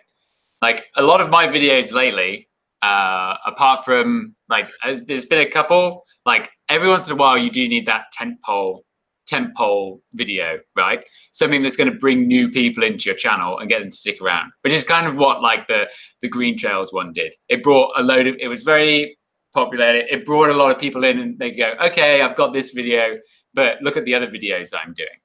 So there are some videos you need to kind of figure out a few videos that are, you know, what the videos you want to make. And the goal of those videos is to make the best video that you can do. But every once in a while, you're like, okay, I need to stimulate more of that audience coming in. And the way you do that is, yeah, to engineer some some bigger videos. But yeah, I think uh, really you've got to always look to the main, you know, the main message of your. If you want, you know, if you want your channel to have a message, which all successful channels do, and if if you want success on this platform, then that's that's kind of what you need to be thinking about. I mean, now I need to have success on this, and you know, the other guys that I work with, like that's that's what it's all pertained to. But like when I go and make um like the there's one where I just rode the oh, what trails they called the Navajo trails Mhm. around. Like that was just a video. I was like, oh, some nice things happened. Like it's a memory that I want to have. And it's kind of a challenge to make a video out of what I think is kind of boring content, really. Mhm. So that's kind of why that video was made. But that video, I didn't make it to be successful. I I made it because I wanted to make the video, and that's like a big a big thing. Like Casey, like his biggest videos, like the the car, you know, the the bike lane one, one Yeah. of his most famous Yeah, all yeah, time. yeah. Yeah. Like He actually talked about that in the uh in the Yeah. interview that I was talking about. Yeah, but like he didn't he didn't go, oh, I'm gonna make this video because it's gonna have like huge shock effect and oh, it's just like oh, it's crazy, like oh, loads of people will watch this. Like he made it because he was getting really annoyed that bike lanes were being Yeah. like he got this ticket and like and he's like okay I could actually make a story and like this is the thing I want to say and that's like you know you look you speak to you look at a lot of athletes nowadays and they're like what I'm going to focus on is the process and the thing Oh, lost your audio. Just like that. I I just hit spacebar and it muted it that was great that was a so- punter move. Yeah, it's a full punted live stream move. So like the yeah, like he wanted that was his focus, like to make he's like, I just want to make a good video out of this. And then it was popular. Yeah. Like so that's I think that's what a lot of people, especially on YouTube, is that they're like, oh, I'm, I'm gonna make this video and then it's gonna get views and then the YouTube truck of money is gonna come and like now I'll be famous. Like Brian did it, like I should be I'm doing the same thing as Brian, so I it's gotta it's gotta work out.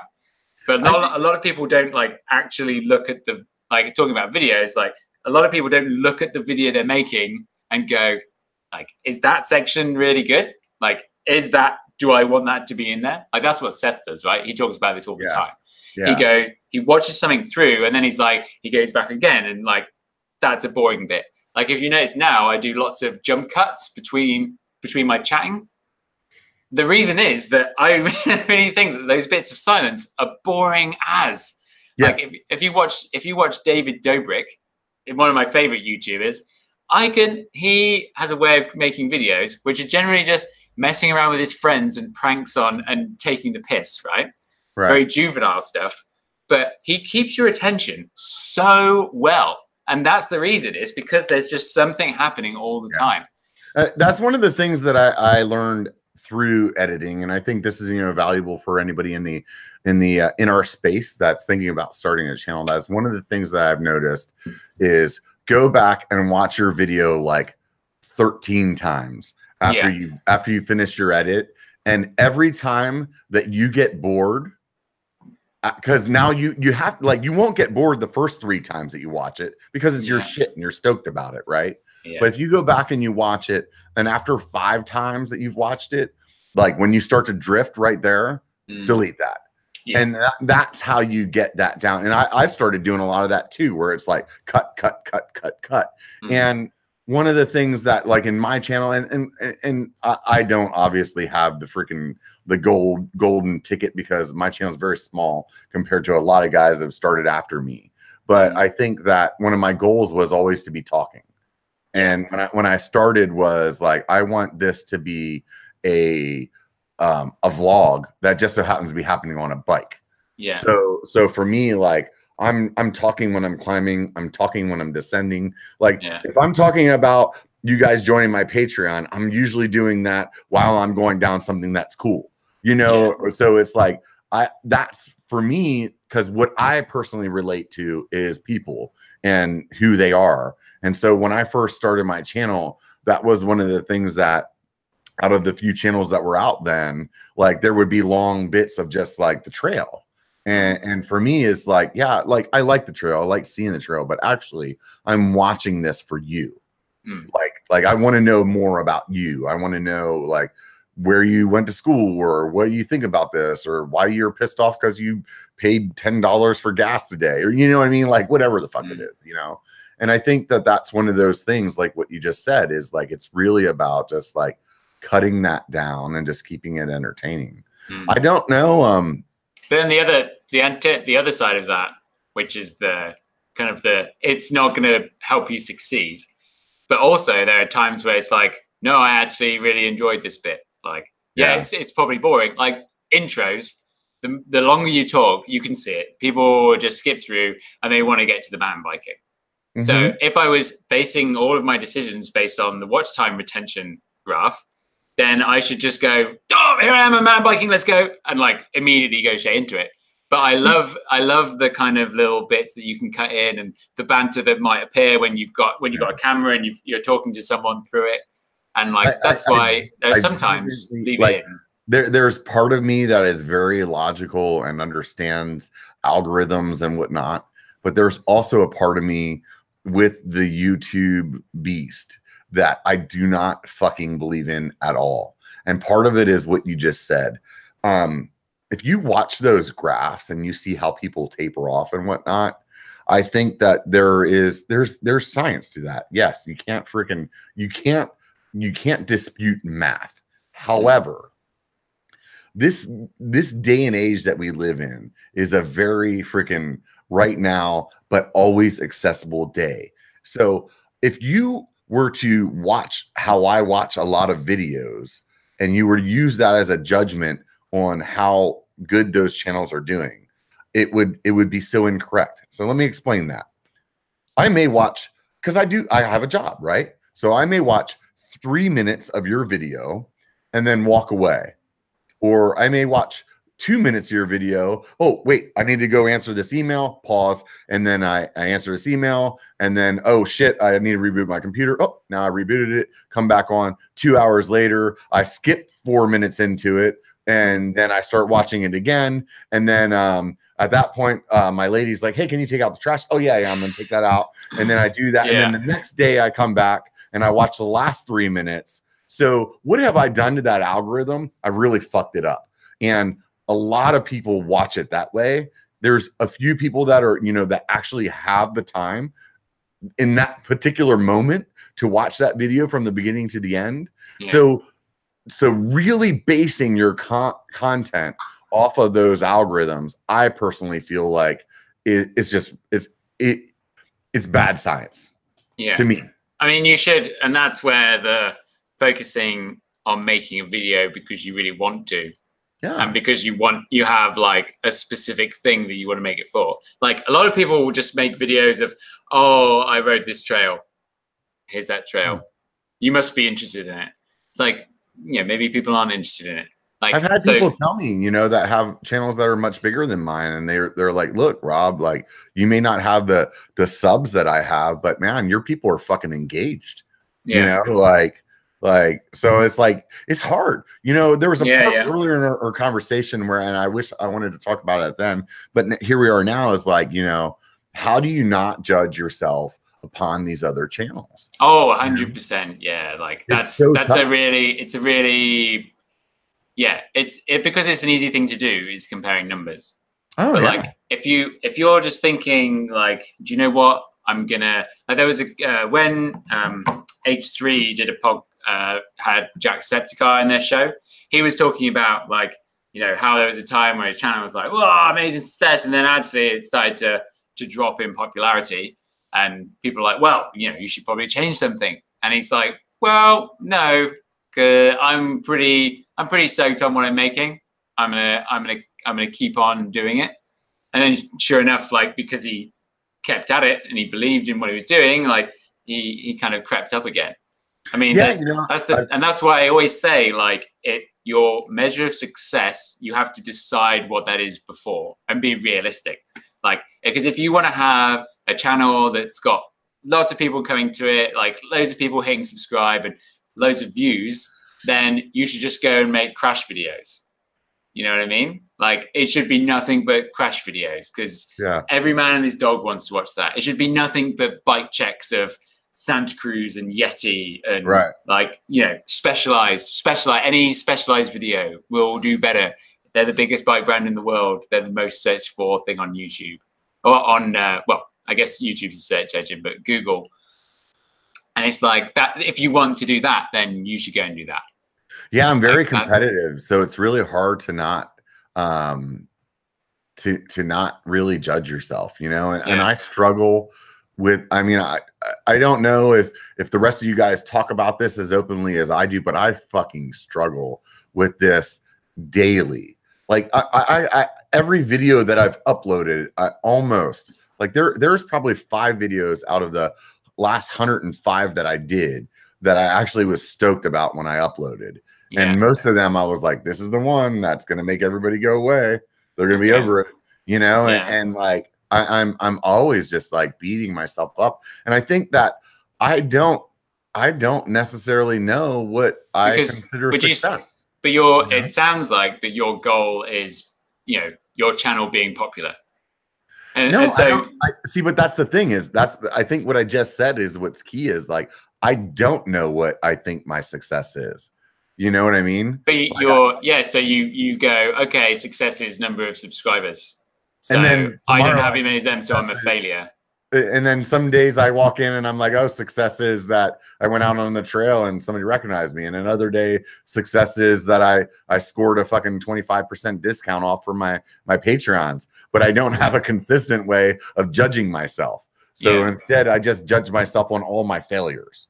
You, But you you, know what I mean? it sounds like yeah, you, you judge yourself based on others' feedback. yeah. So why not why not have a goal where it it's you you know your success is 100% controlled by you. Yeah. Like you know I I remember when you did your the Space Mountain video, and I was Mm-hmm. like, fuck yeah, go Robert, that's so sick. Like he's got his goal, he wants to lose weight, like this is what he wants to achieve. Like I cannot wait for the next video. And then kind of that goal just kind of went, you know, I guess it disappeared. Like Yeah. your Hawaii video, you were like, oh, let- let me tell the story. It's like, oh, well, I didn't do it. But Yeah. maybe like, you know, I mean, that's if you like if I had my, you know, YouTube consulting hat on, Yeah. which is now what I do, you know, part of what I do for a living. It's like, okay, no one is doing that on YouTube. That's like the secret to success on YouTube. If no one is doing it, go and do it. I mean, fuck's sake, I when when is the next e-bike channel? Like, Right. yeah, there's EMBN, but there's no one actually being an e-biker. Do you know what I mean? As an yeah and i think the thing with some of those things like like for example when i was making that video i was thinking a i want i want to lose weight i want to do that and b Yeah. yeah, there was there was a, a- methodical part of me was like dude this is a great story if i can Yeah. do this and show people like they'll be fucking amped yeah, you know and it would be a great story to see yeah, however there's a big variable there is your own personal motivation to actually make that happen yeah, you know and, and some of that is is maybe in or out of your control i don't know you know Yeah. but like like in that specific one yeah that was in my control but Yeah. like sometimes you're you're you're maybe even setting yourself up for failure by that you know Mhm. but i think at the end of the day you know it, it for me and i think this is like one of those things where where i was talking about earlier is like love or hate with a channel is like you know i am very honest with everybody on on my channel and and and recently i found out that that sometimes that honesty really kind of pushes people away and Right. and and for me like like recently i went through a pretty big slump and i was in a- in a, a spot where i didn't want to fucking edit and i and i Mhm. wasn't happy with what i had to edit and um i was i was talking to people about not being happy about it and and what that did was they were like oh this guy's fucking not stoked and Yeah. instead of it being like like getting people to feel like hey like hey this guy's just being real you know a lot of people were like i'm dipping the fuck out you Yeah. know and, then and that's I, the- I learned, a- I learned a valuable lesson there was Yeah. like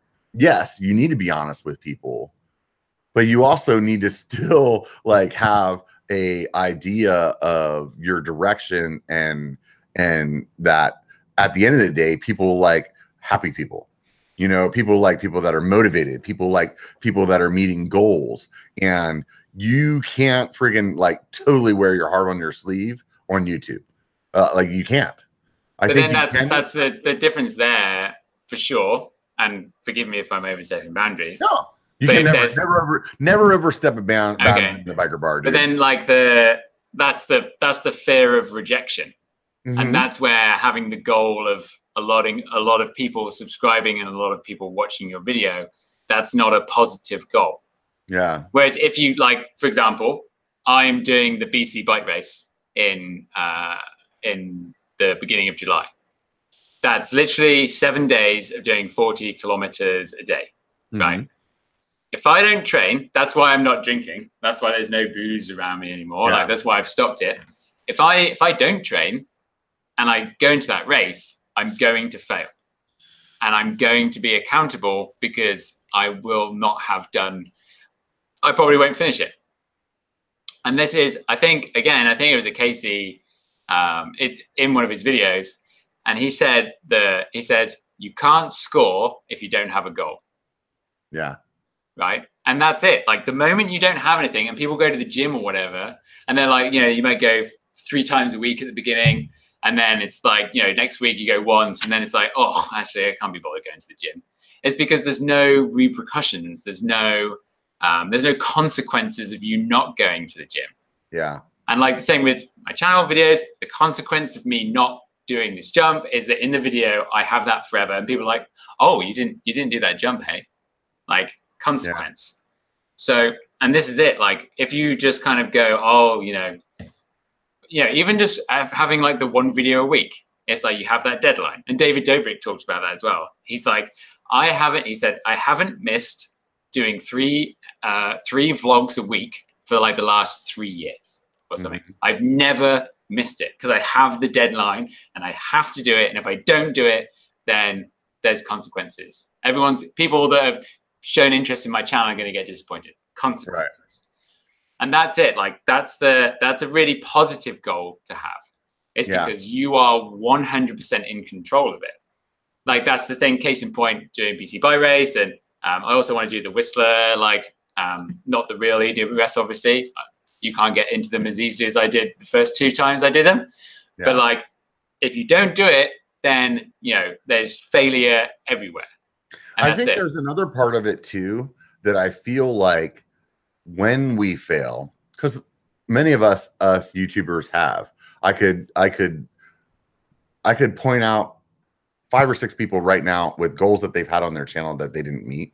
And I think where we fall flat is actually not doing a good representation of why we fell flat because yeah. we're embarrassed. You yeah. know? Yeah. Like so so instead of the video like let's just I'll use myself for for this. Like whenever I failed at my weight loss, and I just kind of blew over it because yeah. I really didn't want to fucking talk about that.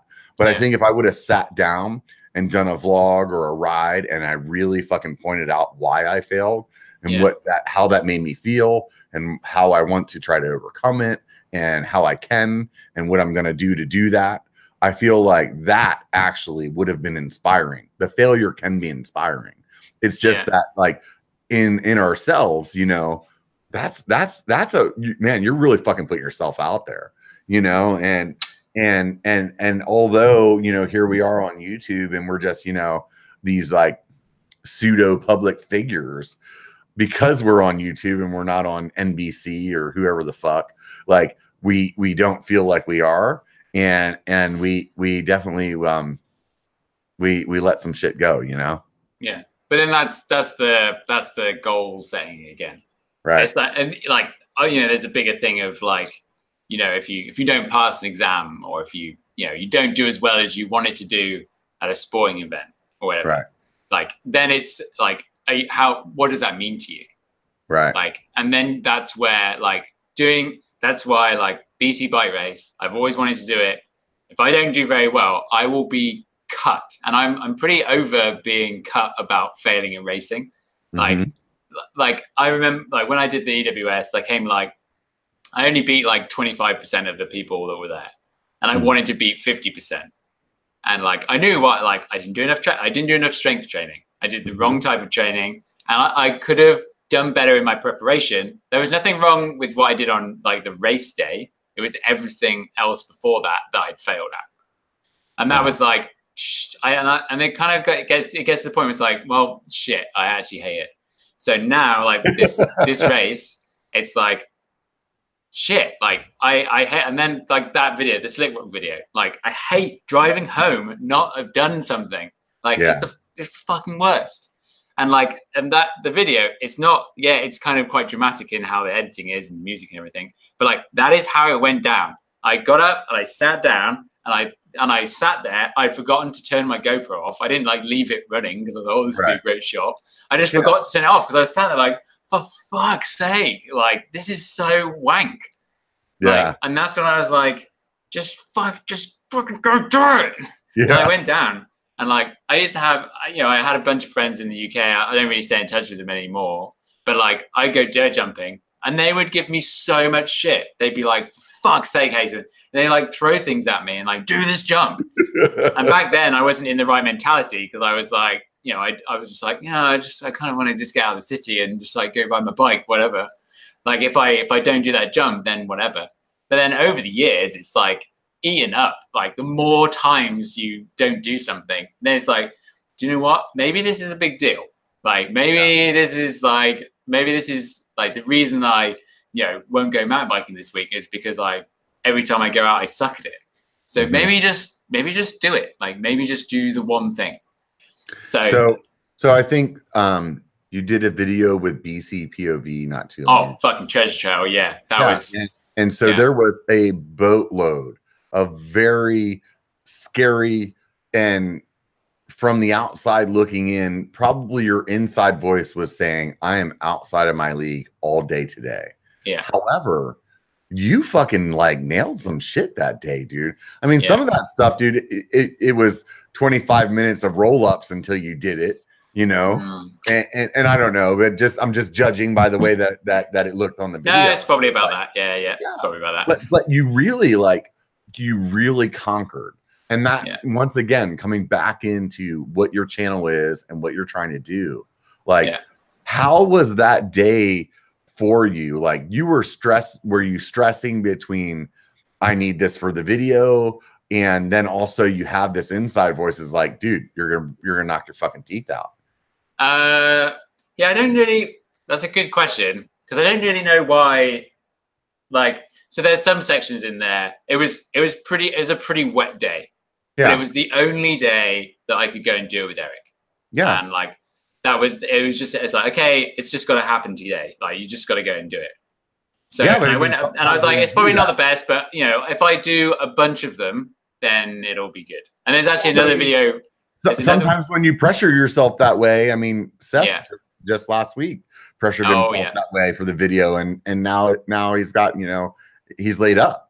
So like how how do you overcome that but keep your personal safety in in place well i mean I, I there's always a line and like the bonus is that i watch eric do it and it's like and you know I, i've got to the point now in mountain biking where i can look at what someone's doing and being like oh right okay he just did this yeah like he's he's just done that like if my if my bike does the same thing it's probably going to be okay yeah but there's still skill set there dude yeah, I but mean, like, so there's one. I can't, I can't yeah. ride fucking Red Bull Rampage. I mean, I can watch people do it all day, but I can't fucking do that. But you know that you wouldn't be able to in the in that moment where you're flying 30 kilometers an hour to the lip and you have to pull up X amount and do yeah. like three taps of braking before it, you know you can do it. So like case in point, just after that Wait, rock so roll, rampage next year. Is that no, no, no? it's like so, but that's the thing. Like I know I couldn't do that. So right. like there's the there's like the next move afterwards, which is like awkward routes, and then you had to pull up and then kind of pop down and then break. I was like, I'm not comfortable with myself that I would push down on the, my pedals and pull up for the drop. Like I, I'm not comfort- confident that I would do that, so I'm not going to do it. Yeah. But the rock roll before, it's like you fucking let go, you roll off, you keep your weight in exactly the same place, and you tense everything just before you hit the compression at the end and like I, I know I can do that, so therefore I can do this thing. Mm-hmm. But it's just about the actually getting and doing it. That's the thing. So, is there a moment that's not captured on camera, sometime in your life, where you overcome something like that, and that really sticks out in your memory? Uh, honestly, because I'm such a pussy when it comes down to it. Maybe honestly, maybe the first time I got through A line, like doing everything, like uh-huh. the when like the Moon Booters come down, which is like a big jump for those that don't know, and uh-huh. like the side hits and everything. And it was just that one day where I'd always gone through it and I'd not done it. And then I actually went with a, my buddy George, and I was like, "Do you know what? I'm just going to go the same speed as you because that that's the answer. If I go the right hmm. speed, it's all going to work. Like there's thousands of people that jump this. Like, right. why would I be any different? And then I got through it and I was just like, fuck, well, fuck me. Jumping is piece of piss, isn't it? And then I remember that day we did a bunch of runs and then we rode Dirt Merchant as well, which is another jump trail. And I was honestly like, let's let's go do Crabapple. Like it's fucking on. And then at that on that last so, run, for people that don't know, Crabapple has like yeah, the biggest jumps in Whistler. Yeah, yeah. But again, it's like the, the principle of everything it's the same as the little jump you just do it a bit differently i guess for the bigger one like slower i've never done them so i can't actually give advice on it at all right but that day, I remember uh, the mentality was like, this is fucking on. It's going to go and do it. And what happened was that actually I got to the bottom and my bike side creaking. And I was like, ah, oh, do you know what? Like, this is weird. Like, they shouldn't be making this noise. Like, I'm going to take you to the shop. Like, I'm going to pick up tomorrow where I left off. They're going to be able to fix it today, whatever. And I go to the shop and it turns out that my seat stays had completely snapped. Oh shit! And they were just being held together by the bolts, right? Like they're just oh, the wow. bolts in there, and like they took them apart, and they just, apparently the, the bike just went like like this. Oh wow! And it's like it's it's cracked, like it's snapped in half. I was like, oh, good oh. thing you didn't do that. Well, yeah, like yeah, it could have been way worse. It could have been like just to the point of catastrophic failure.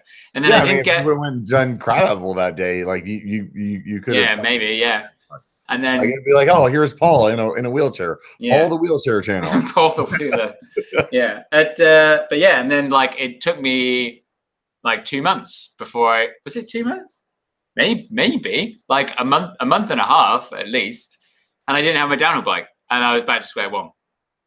Because I just like I'd lost that fire because I was just riding my trail bike and I was ped- I was really good at pedaling up stuff like big time because I was just pedaling around everywhere, not riding the bike park. So you talked about defining su- success, mm-hmm. and um, so here you are, just rounding a year. So next year, when you're rounding year two, what the what does success look like for Paul Punter? Uh, I really, I kind of like because like there are a couple of occasions where the channel grows so fast. Like it's like yeah, I've got a number, but I don't feel that there's like really the community of people on there. Do you know what I mean? Uh huh like if I do a live stream, my my live stream number is probably not that dissimilar to you. So it's like, is that just because you're more like you have a lot more people in this time zone, and I do a live stream similar time, like five o'clock, and there's just less people, or is it? But like I see a bunch of the same people coming back and commenting, mm-hmm. and I always reply to every comment. Like that's the the the YouTube studio makes it so easy. Like, yeah, I mean, but just, I, I, I live stream at fucking like one o'clock in the morning or six. Oh, yeah. and, I'll never forget your live stream that was called like probably going um, going to delete this soon. Yeah, and I was like, oh, clickbait. Like, is he going to delete his channel? Is he drunk enough that he's just had enough and he's just going to delete it? But no, it's just like, no, I'm probably just going to delete this live stream after I finish. Yeah. And I was like, oh, I've been got.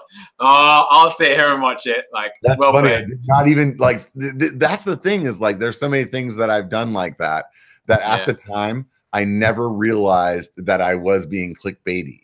Like yeah. when I I did a video called "I Quit Recording," and um, I um honestly, I had just quit recording for like two months because I had this big backlog. Mm-hmm. And I found out when I have backlog, it like gives me way more anxiety. And I just yeah. quit recording. And so I just did all these like little 30 second clips, like while I was writing, while I didn't record. And when I put that video up, so many people were like, Oh, I watched it because I thought you were like quitting the channel. And I was like, like, it, it, was like almost like, you know, like good and bad at the same time. It was like, oh yeah. shit, that is not what I wanted to happen but it is what happened, you know? Yeah, yeah, yeah. That's funny. So, so is it an? So, what I just heard a second ago is it a number that you're looking at for success, uh, or is it a bigger community? I think a real success for me would be videos per week. Yeah, like that. I'm doing like one at the minute. I mean, I'm, there's a lot of like I've just started business creator co, and I'm on a lot of phone calls and like um, emails every day and I've as like and I, have been riding. I mean, I've just wanted to go ride. You know what I mean? Like not do anything else. But it as in make a video. But it, it's kind of like there's really nothing holding me back from um, doing two or three videos a week. I feel honesty. like I feel like there's a a overexposure that is in our space that I I personally I think that the way that we're doing our formats right now, that two or three videos a week, personally, I think is um, overexposure. And, and it depends think, if it it so this I think that's the same principle with like a video that's too long. Yeah. Do you know what I mean? Like a movie's too long. Yeah. They're an hour and a half and you will watch the whole thing. It's because it's good. Like that's yeah. the difference. There's no such thing as a video being too long. It's just like we were talking earlier, like a video is boring at some points point, and then it becomes right. like pointless. Like that's that's the difference. I mean, I I mean, last year, I mean, with Pinkbike, we were doing like four, four or five videos a week. And like, and I was making those as well, as well as making videos on my own channel. So it's like, yeah, but I'll tell you, like, like Pinkbike's posts on Instagram don't keep my attention because there's 75 of them, you know, and and but Instagram does Instagram serves stuff out weird and Instagram is not the same as YouTube. Getting at is is is is too much. And if they took just the good ones and showed me those, I'd be engaged with them. But instead, I just kind of roll right past them. Yeah, but I think I think the looking at like the back end of stuff. I know you shouldn't do it, but like it's just like if you've got enough good ideas, then you should do more. And I think I think I've got like a list somewhere on my phone. I mean, I could even uh, pull it up. And if I keep kind of talking and doing lots of filler, then I'll, I'll have time to get the video ideas, which I have done. And like all of these are video ideas that I've come up with. And I'm pretty sure I just saw it's like there's 50. There's 50 video ideas on there. And that's just things I've gone, oh, what about this? And like I think, you know, I'd enjoy making all those videos. I'm so, glad to see that you have a similar list. I have one of those too. Yeah, and like it's so important because like your brain's not big enough to remember everything, right? Yeah. No one's is. So, and I really think it's just like today. I had a, I would say I had a successful day when it came to my own channel. Like my main focus, is I sound like fucking Casey Neistat. What an idiot! But like, what a plagiarizing idiot. But like, my main focus is my business, so I can afford my house. Like yeah. rule one but like my YouTube channel is a part of that, and that's something I've told everyone. It's not the main part at all, not by a long stretch, but it's somewhere that I want to improve because I really enjoy it. Like that's yeah. the thing. I love making videos. I love editing. It's very similar to composing music. I feel the kind of same feeling about that. But like that's that's my main focus now. But I know that if I like today, that's why I was I went on a tangent. Sorry. So this is why I edit my videos so much. So like today, I woke up early. I started editing this uh, dirt jump video that I've got coming out. I did want to post it tomorrow, but time has not allowed that to happen. It was a main goal. Mm-hmm. Like, and I edited for four hours this morning. Then I was like, it's 11 o'clock. Now I have to go and film the other video that I had the idea on, which is an e-bike type video. Mm-hmm. I think it's really, I think it's going to come out really well. I'm very excited to put it together. But then it's like, okay, and then I have that, but I have to be home before half past four at least so I can make time for this. Right. And like it's a suit, and I looked at it and I did everything. I stuck to that schedule. And there's nothing more like enjoyable for me than sticking to the schedule and making sure I've done it and not just giving up and watching YouTube videos for four yeah. hours. I think for me, the thing that that's tough is that I would I have too many other commitments financially mm. to not be able to put all of my time into it. And and for me, I'm um a little bit of a perfectionist with things. Mm. And um I am upset by not being able to have the time to actually like really make the videos that I really want to make. Yeah. And so then it's a toss up do I keep putting out content that is on a faster schedule that is is flooding people with with more content or do I actually come to people and say, you know what? I'm actually just going to do one video a month, but I'm going to like put my heart and soul into it. Yeah. But I mean, if, the, if that one video is like, you know, the, the one good idea, then yeah, that right. makes sense. If you right. have a hundred really good ideas, then you should do it. Yeah. Like you should do it if they are genuinely all good. And like this is something, you know, I'm only just changing my mindset because I had like, I mean, if you look at what we did on what I did on Pinkbike, you know, I pushed it over. I think, you know, really we were focusing on it for well, the eight months. That's when I actually had my own filmer to, to come and yeah, to come and make it. But like mm-hmm. we pushed it over. The goal was to get to 100,000 subscribers. That was the goal. And I was like, I know the moment we get to there, then you know, ten thousand to a hundred thousand is the same amount of work as a hundred thousand to a million. Right. 100%. So right. that uh, and that's um, I did it just before uh, just before I left, and I was so pleased. But now it's like since I've left, they've got an extra 40,000 or something subscribers, no, 30,000 extra subscribers, and they haven't been putting in as much effort as when I was there. Like, nope, we're going to upload this video now. So it's like, yeah, you're like, oh God, that's so annoying. But like, that's that's the thing. We were we were just doing it, and like, it stuff wasn't hundred percent perfect. It was like that's why I said like, it doesn't have to be hundred percent perfect it can be 85% perfect. Yeah, and I think that's one of those key things too. That uh, like uh, there was a, a, Jordan Boostmaster video that I watched when I first started, and one of his things was like just put the video out. Yeah. And and I've given that advice to a few other YouTubers that have um, started since then.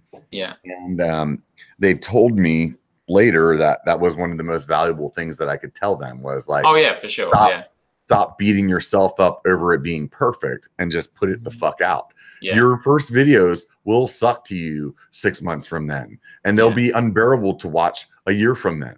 Yeah, but. It, like it is what it is. It, but if you don't do that, it'll never happen. Yeah, yeah, so, yeah, hundred so percent. You you have this business that you want to like help people like create or promote or what? Do you want to explain that just a little yeah, bit? It's a little bit. Hey, so I don't know what the what the uh, um, what's the word I'm looking for.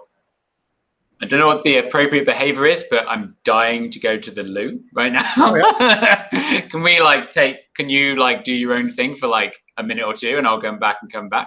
I suppose I can. Yeah, go Robert, for it. Everyone watching, I'm yeah. very, I'm very yeah, sorry.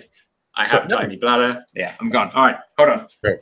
So we're going to start this uh, this telecom conference off with why British people have small bladders. So I'm going to go with first of all, they don't have you know a good drinking drinking ability. No, I'm just kidding. So what what I was just saying, what what the fuck was I just saying? Just a minute ago, um, I really want to see where my channel can go, and in that I wanted to ask him about, you know, like, hey, you know, what what do you think that the biker channel is doing wrong? And um, he has this business, as far as I know, that it, it's trying to like to help people with like promotion and marketing and stuff like that. So I'm really curious to see like what his thought process is because there's parts of it for me in my channel that I um I want to see things grow. However, I do know, like, I'm going to make up a new word right now, algorithmically, that there's some things that I could do that would really change my channel. However, there are some things about that algorithm way of going about things that I vehemently fucking despise. And one of those is just like saying, hey, like and subscribe. I can't stand that it, it, it's just like a personal thing for me where it's like I hate I'm, I'm fucking 41 years old. I hate getting on YouTube and I hate just seeing people tell me like I'm watching a video and they're like, oh, make sure you like the, the, the video and make sure you subscribe. And when they say that, it's just like, dude, I'm not a fucking idiot. I know that how this works. I don't I don't need you to tell me that.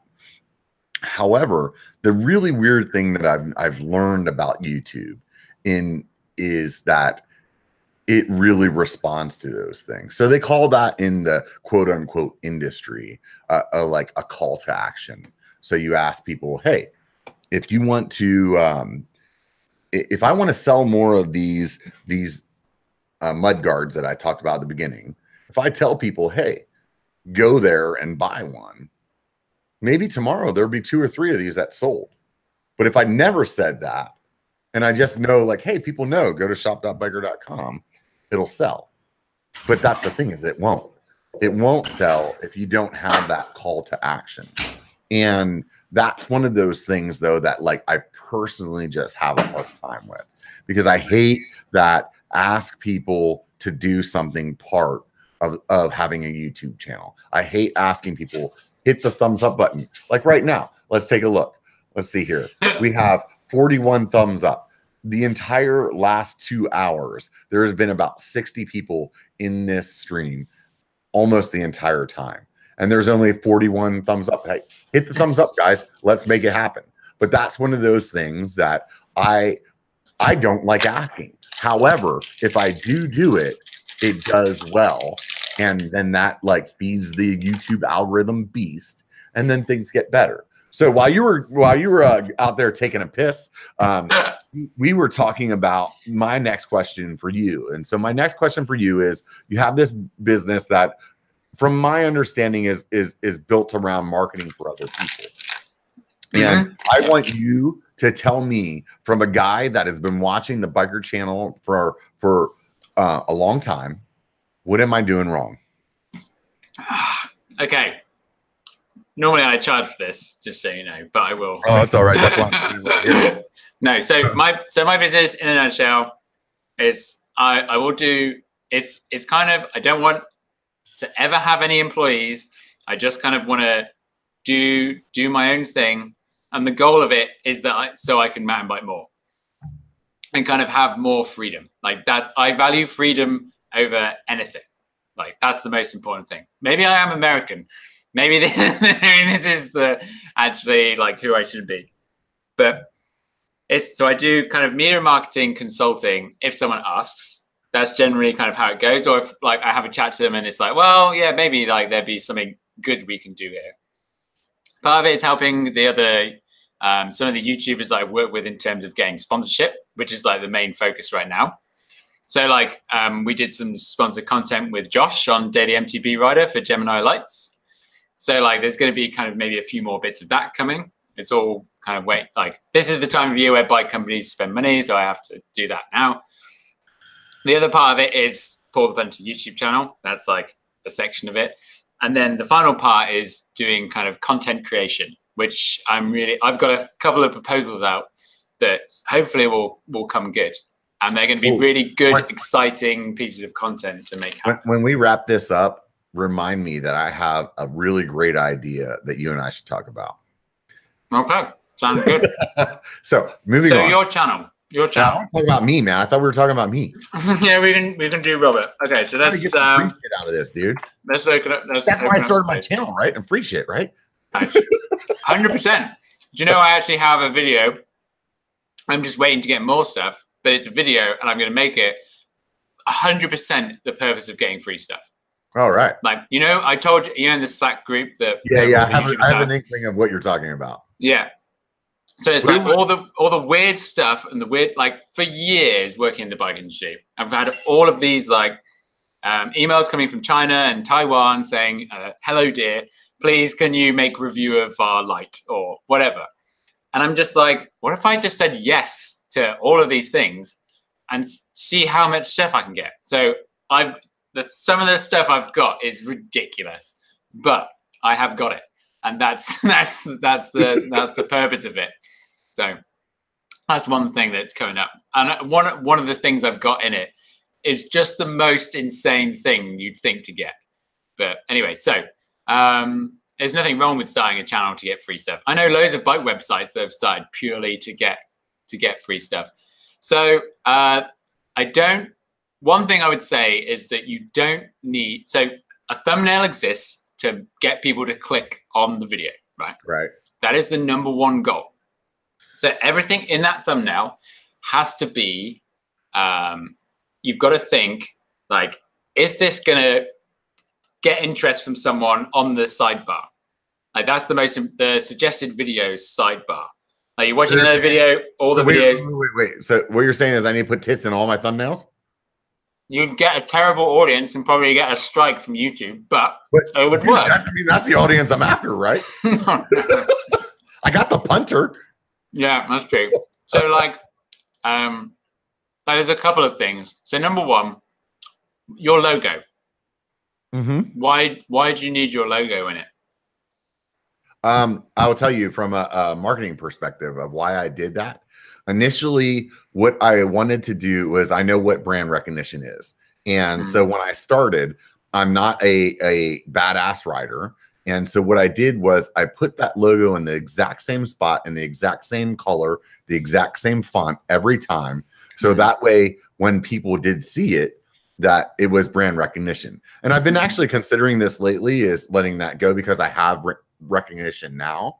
And but initially the the main reason that I did that to start out was that every time you saw something white up in that right hand corner and that logo was there that you knew it was from me. It was not a question. So when you start like hiding your logo, like like that brand recognition over and over again, and I've done a lot of that with my channel, Mhm. and like the "What's Up" YouTube at the beginning, like that. The the the people know it's a biker video because you Right. say, "What's up, YouTube?" and, Yeah. and when I if I say like "What's up" like that, everybody hears YouTube after that. So I that, that was the goal of that. Mhm. And and so now, yeah, I'm getting into a space where I need to move outside of that. And so I'm starting to like like hammer out some ideas of how I'm going to get around that. But Mhm. that's also now a a it, it is a solid part of, of my channel. If I took that away, it would be like you know the Cosby family not being the Cosby family anymore. You well, know, I what mean, I they're mean? not Like, the Cosby family anymore. All the people. but you, you know what I'm saying? Like like it Yeah. has to like it's part of it. So that that was the reason. So correct me if I'm wrong. Was I was I in the wrong place by doing that? I would, I would take it out, Yeah, and it takes up too much real estate. yeah, and the kind of people will click if if they're if they're clicking because of that logo they're likely subscribed. They they likely are already a fan of you. So and that would come up in their subscription feed and they would see like you know youtube channel biker like oh i know that's already it's already there. So i don't think it's important. But yes, on one hand, and and I I I- I love this conversation actually because on one hand, yes, but on the other mm. hand, like that is part of the reason that I have such a loyal base of people. I don't think that one reason is why. I think No. you're a likable person and you have you. like the consistent things in your video, like what's up YouTube. People love that kind of consistency. Yeah, Then they're not clicking on your videos because your logo is in the thumbnail. gotcha. Like 100 percent. Yeah, no, I I I- I understand where you're coming from and Yeah. agree. So I think like, and if you freed that up, you've then got loads more real estate for um for videos. It's like, for example, the Santa Cruz Bronson one, your logo is tiny. Yes. like that and i i would i mean i'd be it's you know it's a pretty like i want to know what the outcome is subject so it's possibly not a usual thing but look at the click-through rate on that video maybe it's a little bit better like focus on- review, dude. The bike reviews always get lots of views. Oh, yeah that's yeah that's true so it's kind of a, a tricky Yeah. thing but like i would honestly like take out that logo and, and focus on what the content is Yeah. like Oh, and the, another thing that i do is i look at the you know you said the people outside of youtube uh, outside of mountain biking i look at wh- what do the best youtubers do and when i say best i mean the ones that so so are I'm, gonna- most I'm, popular. I'm gonna make you I'm gonna eat your sock make you eat your sock right now. The best YouTuber in the mountain bike space right now is Seth. yeah His his logo's on every thumbnail. but it's tiny It's there. it's tiny just told me to take it out though. but it's why there. do why do people click on it why do people click on a seth video Uh, if Seth's logo wasn't on all his thumbnails, I might not click on it because I wouldn't I- know it's one of his. I I personally I don't know. Maybe, but there's there's other ways that you can. You don't want to admit it. Was I right? But also, yeah, he does put his he does put his logo in the thumbnail. But also, you know it's his because of the font, the color of the font. I mean, he used to have the oh, So half and branding. half. That's branding. That's what like for me. Like when I Yeah, chose my the, font, this but the- one that's on my chest right now. Yeah. Like that font was like it was. I agonized over that for weeks, and I showed Yeah. like my lady, my friends, like, do you like this font or like this font? And Yeah. it had a lot to do with that. This font here is a resemblance of a Star Wars font. My age group is very like they. A lot of my a lot a lot of the people that watch my video they recognize it for just that little bit. Yeah. And and that was all thought that I did put into it. yeah, I mean the font is great. It's fantastic. it's fantastic, right? So, The logo Like, needs to be smaller. I got it. Or, but you don't like My next at- thumbnail, I'm gonna make my logo so small, and then I'm gonna put this is for Paul. just like I, there's just no there's i personally think there's no need there's other stylistic things as you've already said that can tell people that it's a, a So like- robert video Yeah. without having it take up so much space Right. like it's it's not important so the other thing for sure is um the the titling stuff i mean Yeah. really like it all I- comes down to it all comes Yeah. down to the titling Wait, and, and I I really appreciate you saying this because there is a part of me like I what, what I was talking about while you're gone is there's a part of me that like knows how things actually work and there's a part of me that like my my personal like like way that I've navigated through life is a lot of times saying fuck you to what people want me to do. And and even though I know that will make me successful, I won't do it just because of that. Mm-hmm. And titling is one of those. And I've really been like rubbing myself over the coals a little bit lately about that because there's a lot of videos that I named them the way that I thought would be fun because I wanted them to be fun for me instead mm-hmm. of actually labeling them the way that it explains it well of what's in the video. Mm-hmm. And, and, that is, and, and I, I, I appreciate what you're saying there because what you're saying is dead on. Like yeah. it really is. You like should, it, you should do really, more. So one thing I always used to say, uh, a Pinkbike for sure, is like, are you giving something a title or are you giving it a file name? Like things like, you know, MTB Trail, uh, California, POV, but like that sounds like a thing that you'd find in your hard drive, right? Mm-hmm. So PewDiePie in one of his videos said that um, so he he's had the thing that's resonated said the thing that resonated with me the most, which was that when you go to an I think it was his like nan or his auntie or something that said it to him, and it was like when people go to to an art museum and they're looking at a piece of art, like the successful art isn't the one like if you look at what a, a, clickbait is, which makes you go, oh, for fuck's sake, okay, I'll click on it. Like that's not the reaction that you're looking for.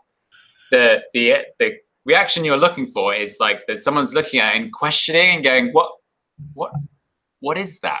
Like what what are they? Hey, like and it, it gives you that genuine bit of interest and like yeah. inquisitiveness, and that's what you need. That's what thumbnails should be it shouldn't be like, oh fuck, you know, like, oh here's a picture of tits. God, I gotta pick, click on that or whatever. Yeah. It's just like the right amount of all of those though. That's yeah. Okay. Roll Damn. two. but like, so one perfect example of something that I really agonized over for ages was it's the most viewed video on Pinkbike. It has like five million views now, and it's Ben Deacon's uh, POV from the Mega Avalanche. It's a big snow race, and yeah, yeah, there's yeah. like there's it's yeah, it blew up. It uh, it went so, massive. Wait, just for a second, so people that don't know what this is, it's like a, it seems like a hundred thousand guys on mountain bikes going down like this like black diamond run of, of a ski resort and just eating shit over and over and over again. But somehow it's very entertaining. Yeah. Well, just somehow it's entertaining because of that. right. That's it and I've I've ridden down that mountain. I I tried to do that race. I didn't qualify, but like it's legit. Like it's so hard. So now the vi- the content was amazing. Like yeah, there's the crashes. He captured all the action amazingly. Like it has all that. Uh, I chopped down his intro a bit before we we put it up, but the the thumbnail and the title, like I spent ages because I was like, this is great I don't want to say like crazy crash because that's too that's too cheap to do it like that. You know what I mean? For me, mm-hmm. that's that's my opinion. Uh, what you want is a really quality audience, someone that's actually interested in mountain biking, etc., etc.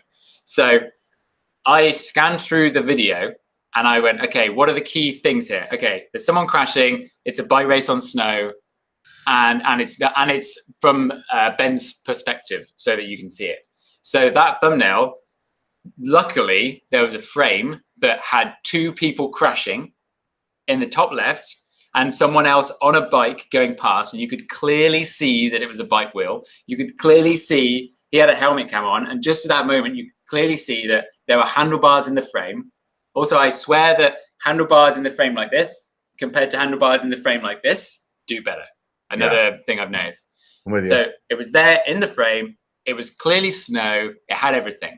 And I was like, that's the exact image, and that's why it's going to be the image. And then you have to pertain to that it's like the action in it is mental and it's just nuts. But you have to kind of make it like, hey, this is this is worth this is worth your time.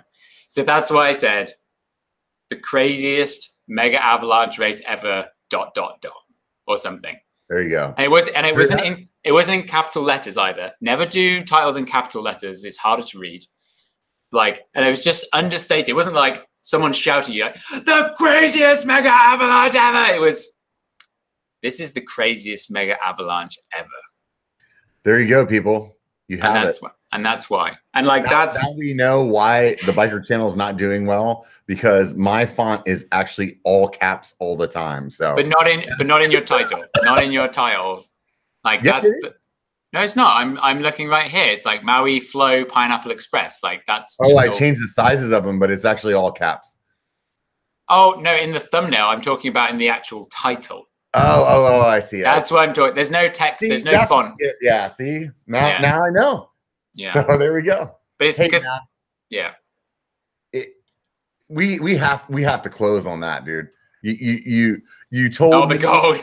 get get Yeah. rid of my caps, get rid of my logo, and um a bunch Focus of more on the that I- image.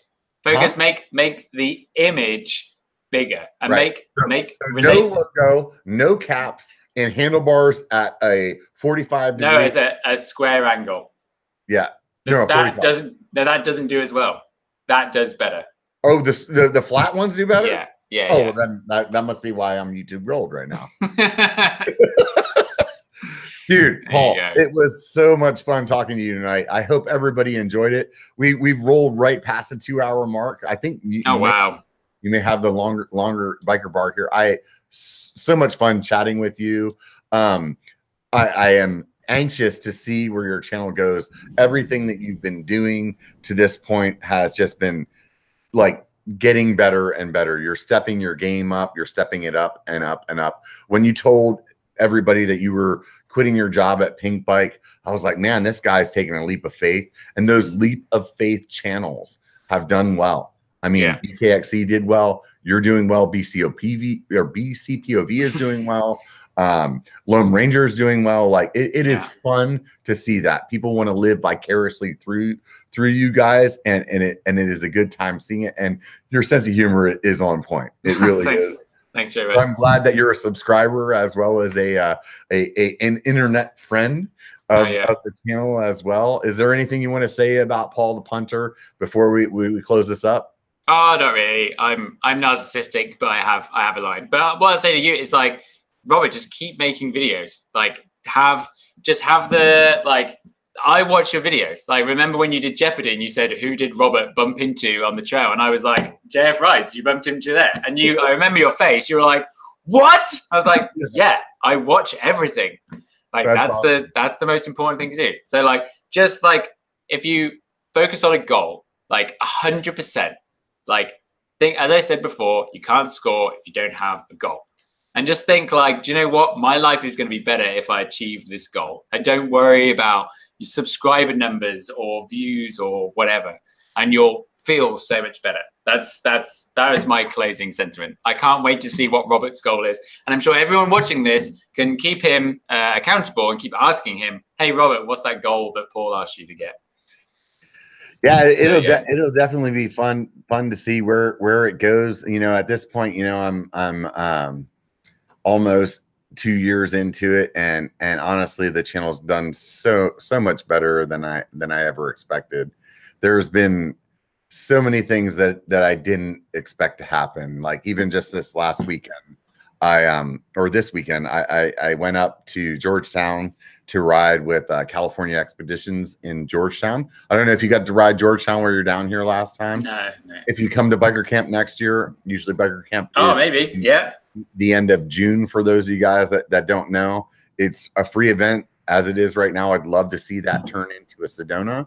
But um, if you if you get a chance to come down and ride uh, up in Georgetown with California Adventures, it is a great place to ride. And so what happened was I went up there to ride with some of the guys from Stickard, and I get out of the truck. We're we're we're filling up the the, the shuttle van, and there's these like four or five like Tongan dudes. These dudes are fucking big guys. They make me look little. Like they Okay. them big there. And and the, the like I'm saying hi to like the people that I know. Hey, what's up, Rob? How's it going? And then three other, four other guys, these big Tongan motherfuckers come over and they're like, "What's up, Rob?" And and they were all subscribers. That's and, amazing. and and that was beautiful. And that's that's one of those things where it's like that's those things that really make having this channel so much fun where it's like it really wraps it back up for me when I Yeah. think that I'm not having an impression on people, and here I am going to somewhere out in the middle of nowhere that nobody should know who I am, and they're like, dude, I watch your shit. It, it makes it very valuable. And all of you guys out there, all of you that that subscribe to the channel, those of you that that hit the thumbs up on this but this uh, video, I actually like you guys. The ones that you didn't, um, myself. So, um, but but but those of you guys, no, seriously, like that that is is is a very valuable part, and th- I want you guys all to know that. I appreciate all of you. I appreciate you, Paul, for being here with with me tonight. Oh, If you guys- Want to see more of this content?